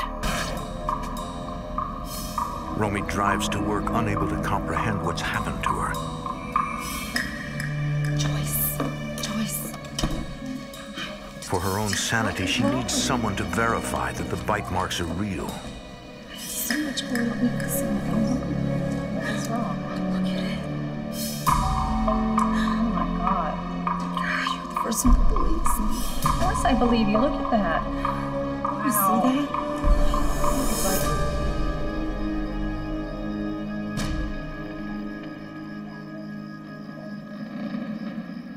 You see that? Later that night, Romy shows the marks to her husband. Fernando, look at this. That bite mark was really big. Something attacked me in the middle of the night. You could still see him, and that was maybe about eight, nine hours later. That.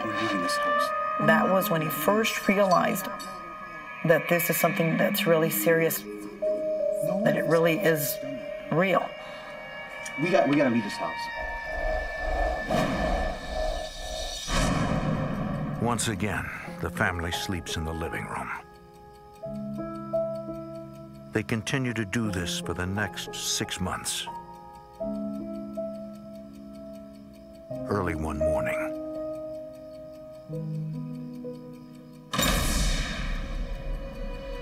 I got that feeling that this man in black was warning me that something was wrong.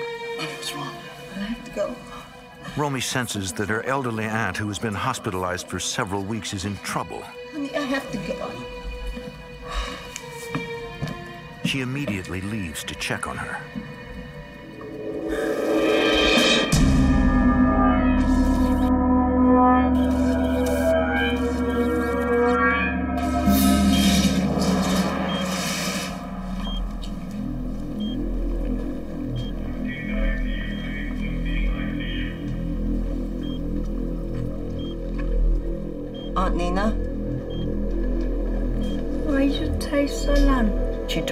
Have you been? What took you so long? She said, I've been calling you since really early this morning.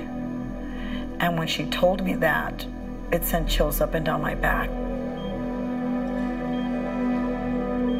Within an hour, she actually died.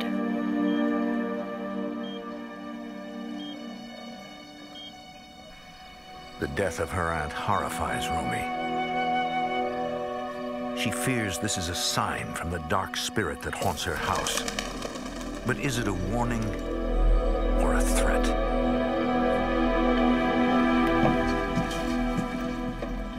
So what can you tell me exactly about the previous owner? One afternoon, when a neighbor comes to visit, Romy learns the details of the house's sordid past. What, what happened? But this house does not have a good history. His father's gone. A younger 14, maybe age 15, had actually shot himself. Oh. The father came home and found him shot and then hung himself. Here? I think it was a couple of years. For the first time, Romy has a possible explanation for the things she's seen. I had a lot of trouble at school. Kids pick on me. I was afraid that history might repeat itself. That's what scared me.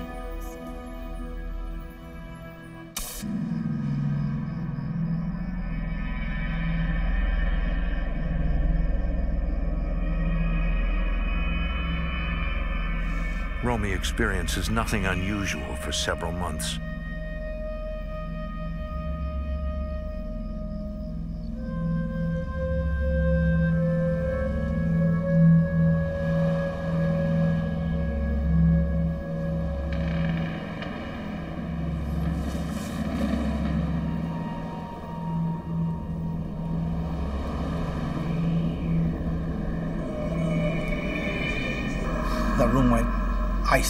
Cold. I could feel like a swirl of ice cold. They're just going around me, around me. I could almost hear the wind. Romy. Romy. Romy.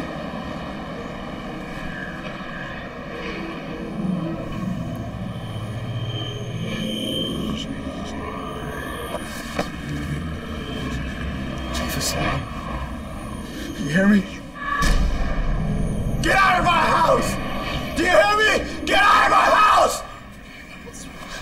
The only thing I told her was that she was having a really bad dream, but I didn't tell her about what had happened because I didn't want to scare her any more than she was already. Are you okay? It's okay.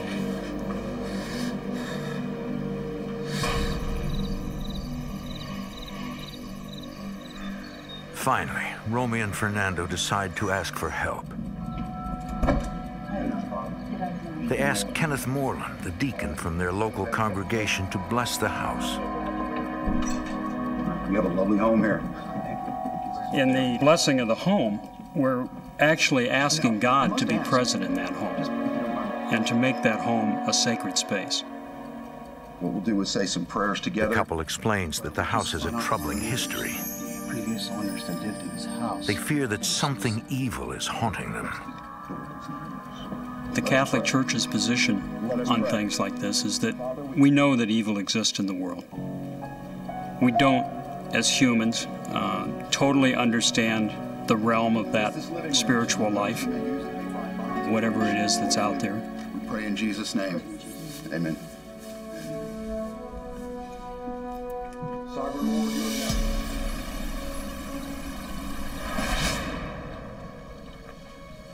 Baby, go to bed. Okay. Okay. Right after the deacon left, I felt at peace and I felt like finally, this is it.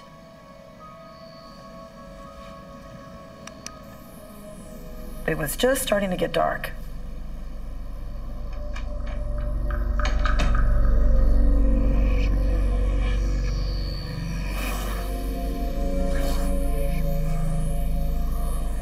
I started to feel like something was horribly wrong.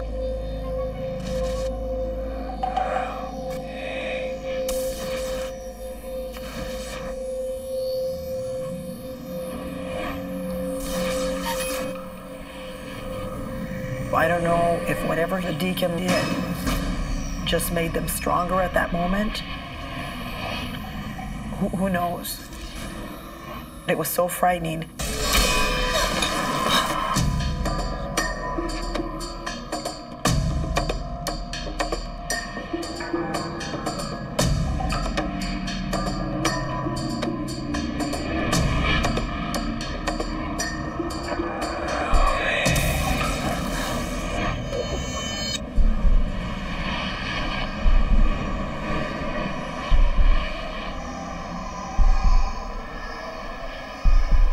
Story where Jesus was approaching a cemetery, and a man came out of the cemetery, and he supposedly had a legion of devils in him, meaning many, many devils. And they begged Jesus to leave and to leave them alone. And I feel that's exactly what was happening in Romy's situation. We had taken goodness into Romy's home and asked for the presence of God to be there. And whatever that presence was that was there didn't like that.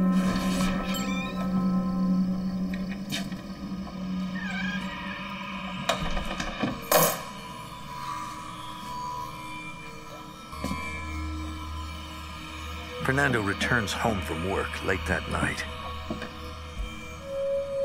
and finds that Romy has returned to sleeping in the living room.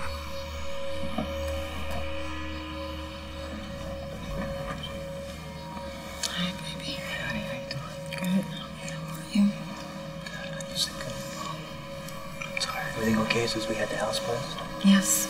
It's quiet, actually.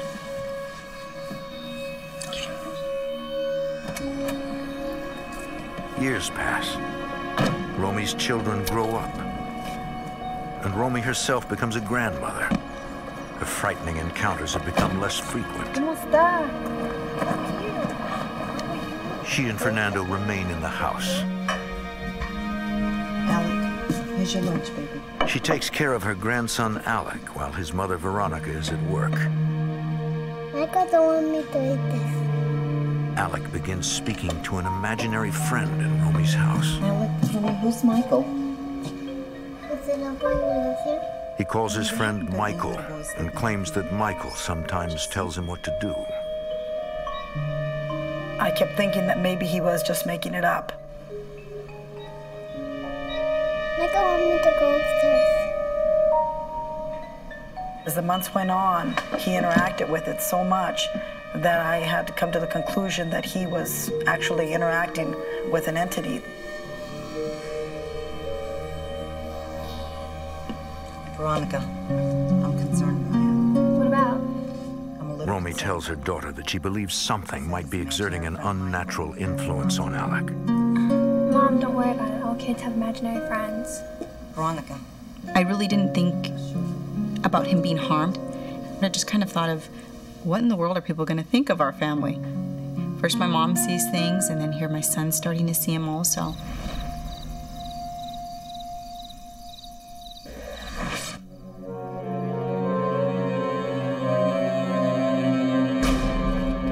Veronica takes her son home and learns that he is frightened of his new friend.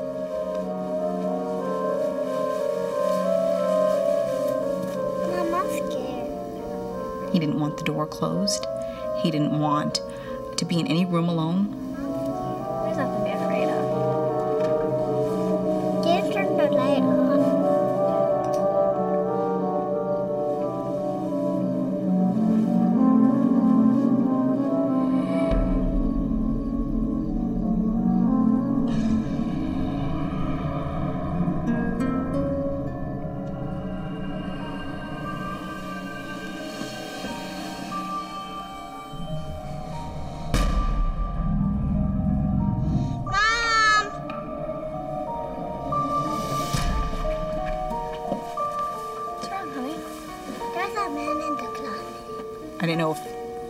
Was, you know, scared of what normal kids are scared of.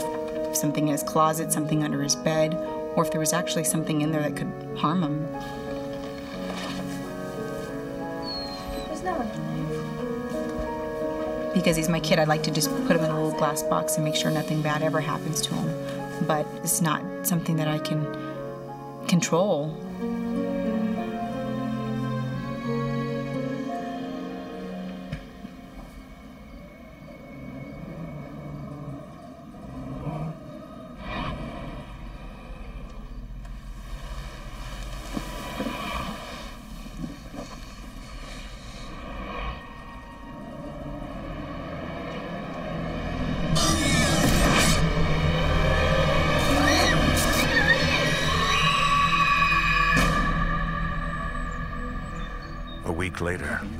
Again visits his grandparents. We're doing a remodeling, and we were upstairs. I was with my uh, grandson, and we were coming back down the stairs. All of a sudden, it just went tumbling.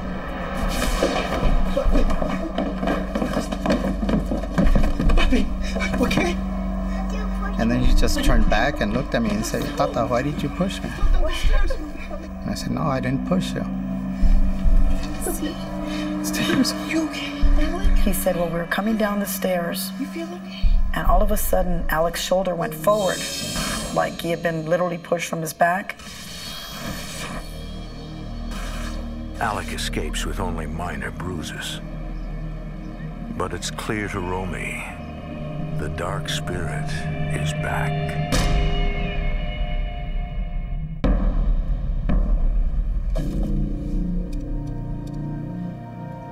Yes, hi, is this Amy Allen?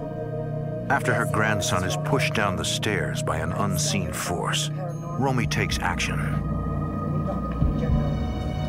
I couldn't handle myself being attacked, but now my grandkids were involved. Romy contacts a professional paranormal investigator who she heard on a local radio program. Investigator Amy Allen visits Romy's house. Her case uh, was very intriguing. It was kind of a state of emergency uh, because people were getting hurt. I feel something here. The first thing Amy notices are nearby radio and TV towers, which emit high levels of electromagnetic energy. Parapsychologists have suggested that this can cause hallucinations. Amy conducts her investigations with the help of paranormal sensitives. Hey, Amy. How you doing? I'm good. Sensitives experience the spirit world in various ways. I tell you a whole lot. Um. Some experience it visually, feeling. Okay. You want to get started? Yeah. others through emotion. A technician brings equipment to measure energy in the house. All right, Teresa, this is the living room. See how you feel about this room and then maybe head upstairs. You guys can help us. I wanted one of three things to happen for them to prove and hope that I was crazy, You know what?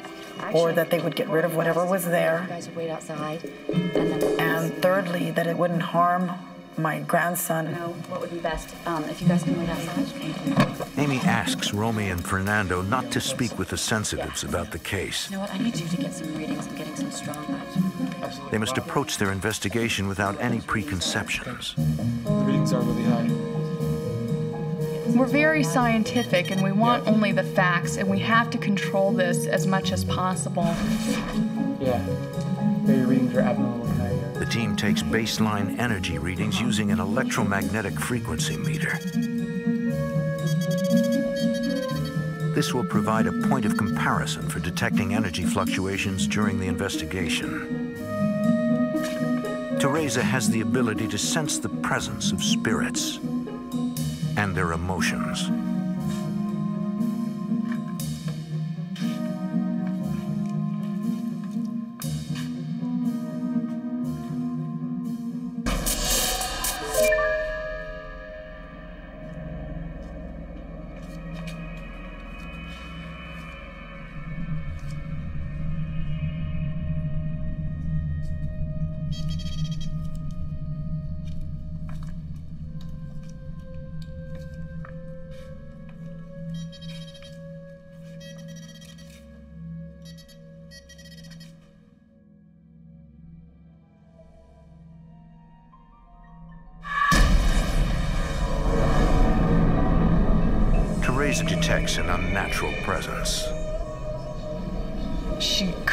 Really make any kind of direct contact with him or get a story off of him. Teresa leaves. A second sensitive, Rosalinda, arrives to investigate using a different type of extrasensory perception. Rosalind is a psychic knower, which means that she uh, sees pictures in her mind's eye. Something really, really bad.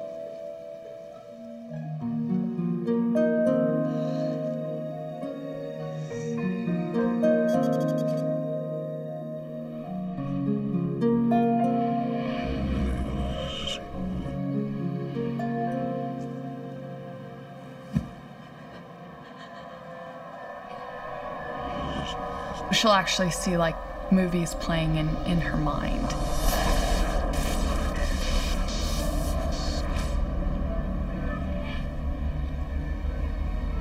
What she was seeing was Romy.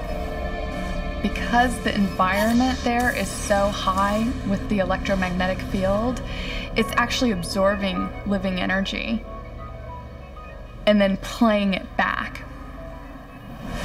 So even though Romy and her husband are still alive, they're already being absorbed into their walls of their home and being played back. Rosalinda senses the presence of a dark entity. She tried to leave the room and saw in her mind it saying, Go ahead and try to get rid of me. Go ahead. I dare you.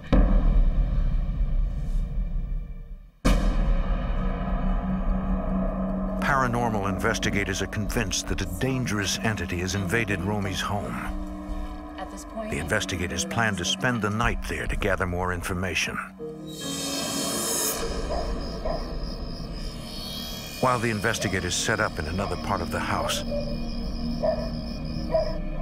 Romy suffers through a particularly restless night.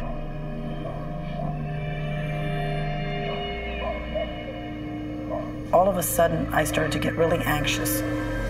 I felt like the room was full of people. You have to get out of here. There are too many people here with us. In the house? No, in this room. I got up like really desperate. My husband said, What are you doing? I said, I have to leave. I feel like there's a bunch of people in here with me. I just have to get out of here. Honey, honey, honey. Please.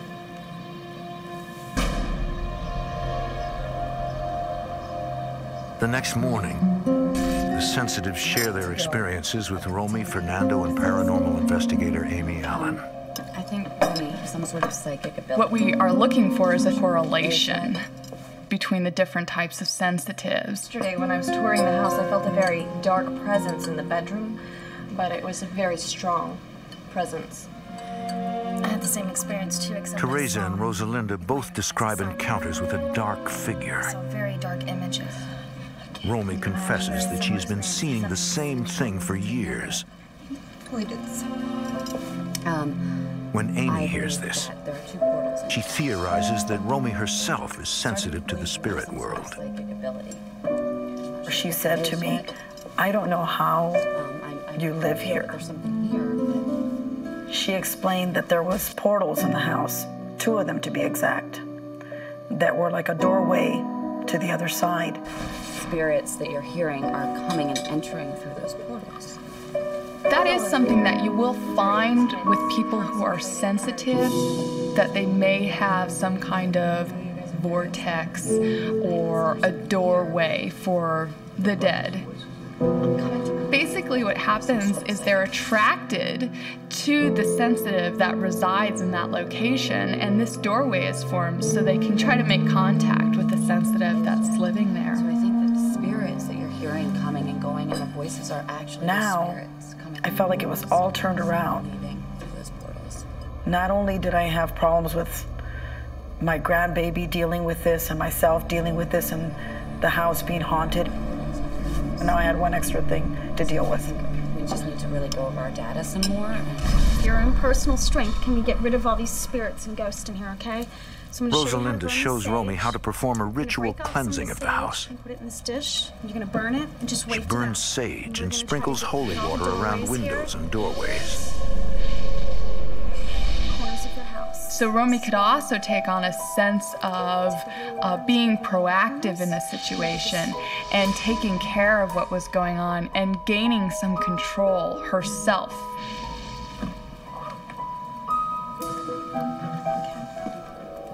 Amy Allen hopes that this will help purify the environment by getting rid of negative energy. But she knows they'll have to do more research to put an end to the haunting. We don't say we have a definite conclusion. We can't do that until we've gone over all of the data. People think that when they have investigators come to the home, this person's gonna solve all of my problems right here, right now, today. And unfortunately, that's not how this works. Amy Allen goes home to study her data. She must consider many possibilities before taking action. Is the dark figure the spirit of a deceased human? Or something else?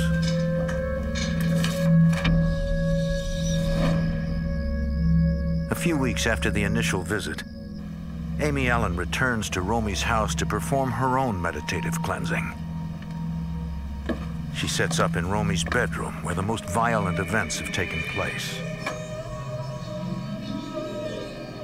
I wanted to see, you know, can I do anything spiritually about this situation? I'm a physical medium, which means that I make contact in a physical sense.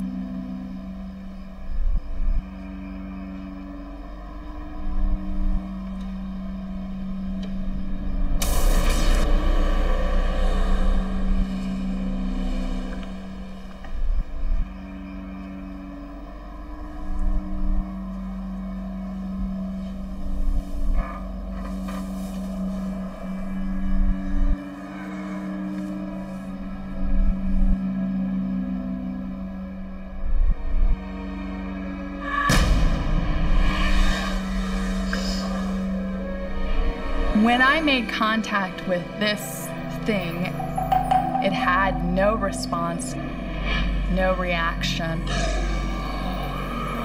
Amy begins to wonder if the entity is something other than a ghost. I did not feel I had made a connection with an actual deceased individual. It was nothing but energy.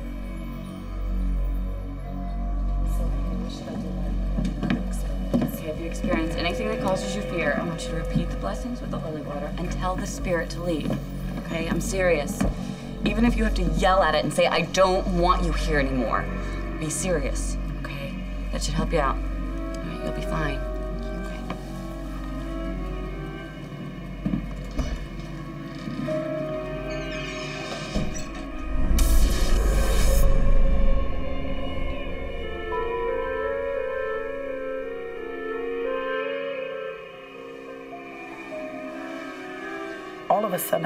Really like I was gonna be sick. I'd never felt so horrible.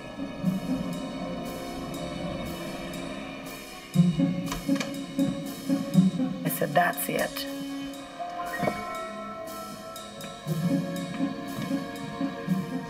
I went back in there finally and I said, I am not gonna let you intimidate me. I'm not gonna let you scare me in my house anymore. I need you to go. I need you to leave. Romy calls Amy Allen for help.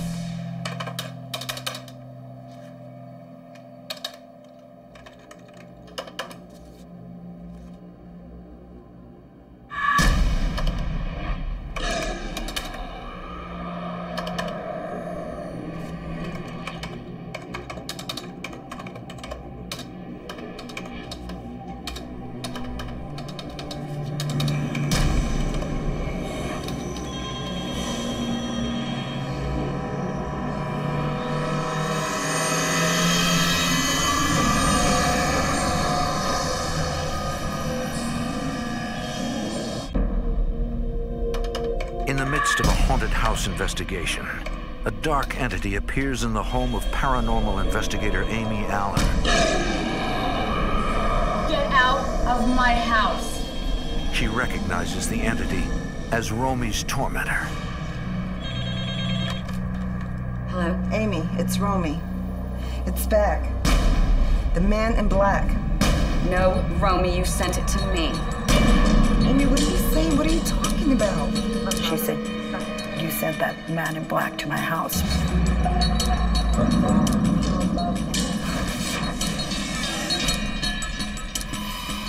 Amy suddenly realizes something quite extraordinary.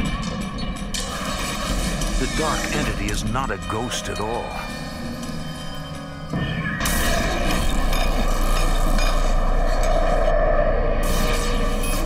It's a poltergeist.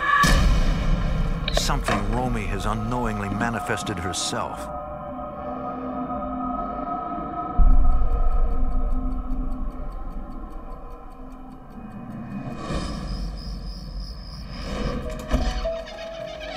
It was like a huge puzzle, and I had all these facts, and I'm like, it's Romy. The haunting was coming from Romy herself. And she was projecting it out into our physical reality. It's inside of you. Amy concludes that Romy possesses psychokinetic or PK abilities.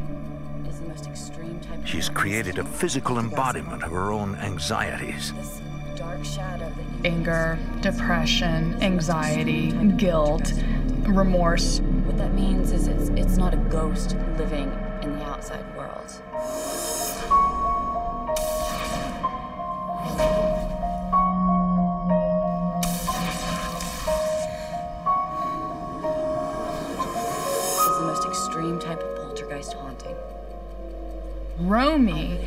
Because she's in charge of the family, couldn't allow herself to really experience these emotions. This entity is inside of you. What she ended up doing, without her even consciously being aware of this, was to project her emotions out. This consciousness took on its own dynamic force. It's almost like I'm beating my own self up, technically. I was frightening my children that I wanted to protect. I was protecting them from me, and at the same time, I was scaring them. I was the one that was tormenting them, and myself also. I call it my curse.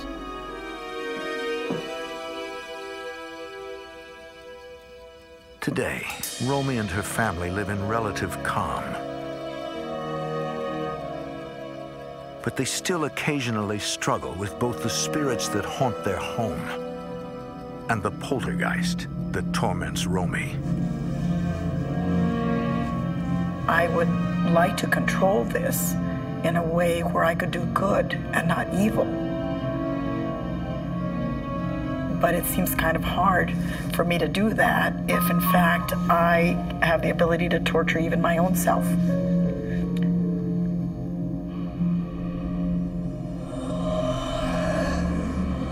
If she doesn't deal with her abilities and get a handle on, on her energy and all of these things, it could come back as it was before, or even worse.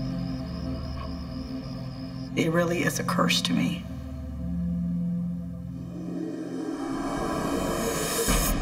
One thing I found in common with all PK manifestations is that the person needs to have counseling, some type of therapy where they can vent their emotions in a safe, positive space with someone who's not going to judge them or be upset with them, where they can literally unleash all of these emotions that they've kept repressed. So, therapy is consistently a recommendation in these cases.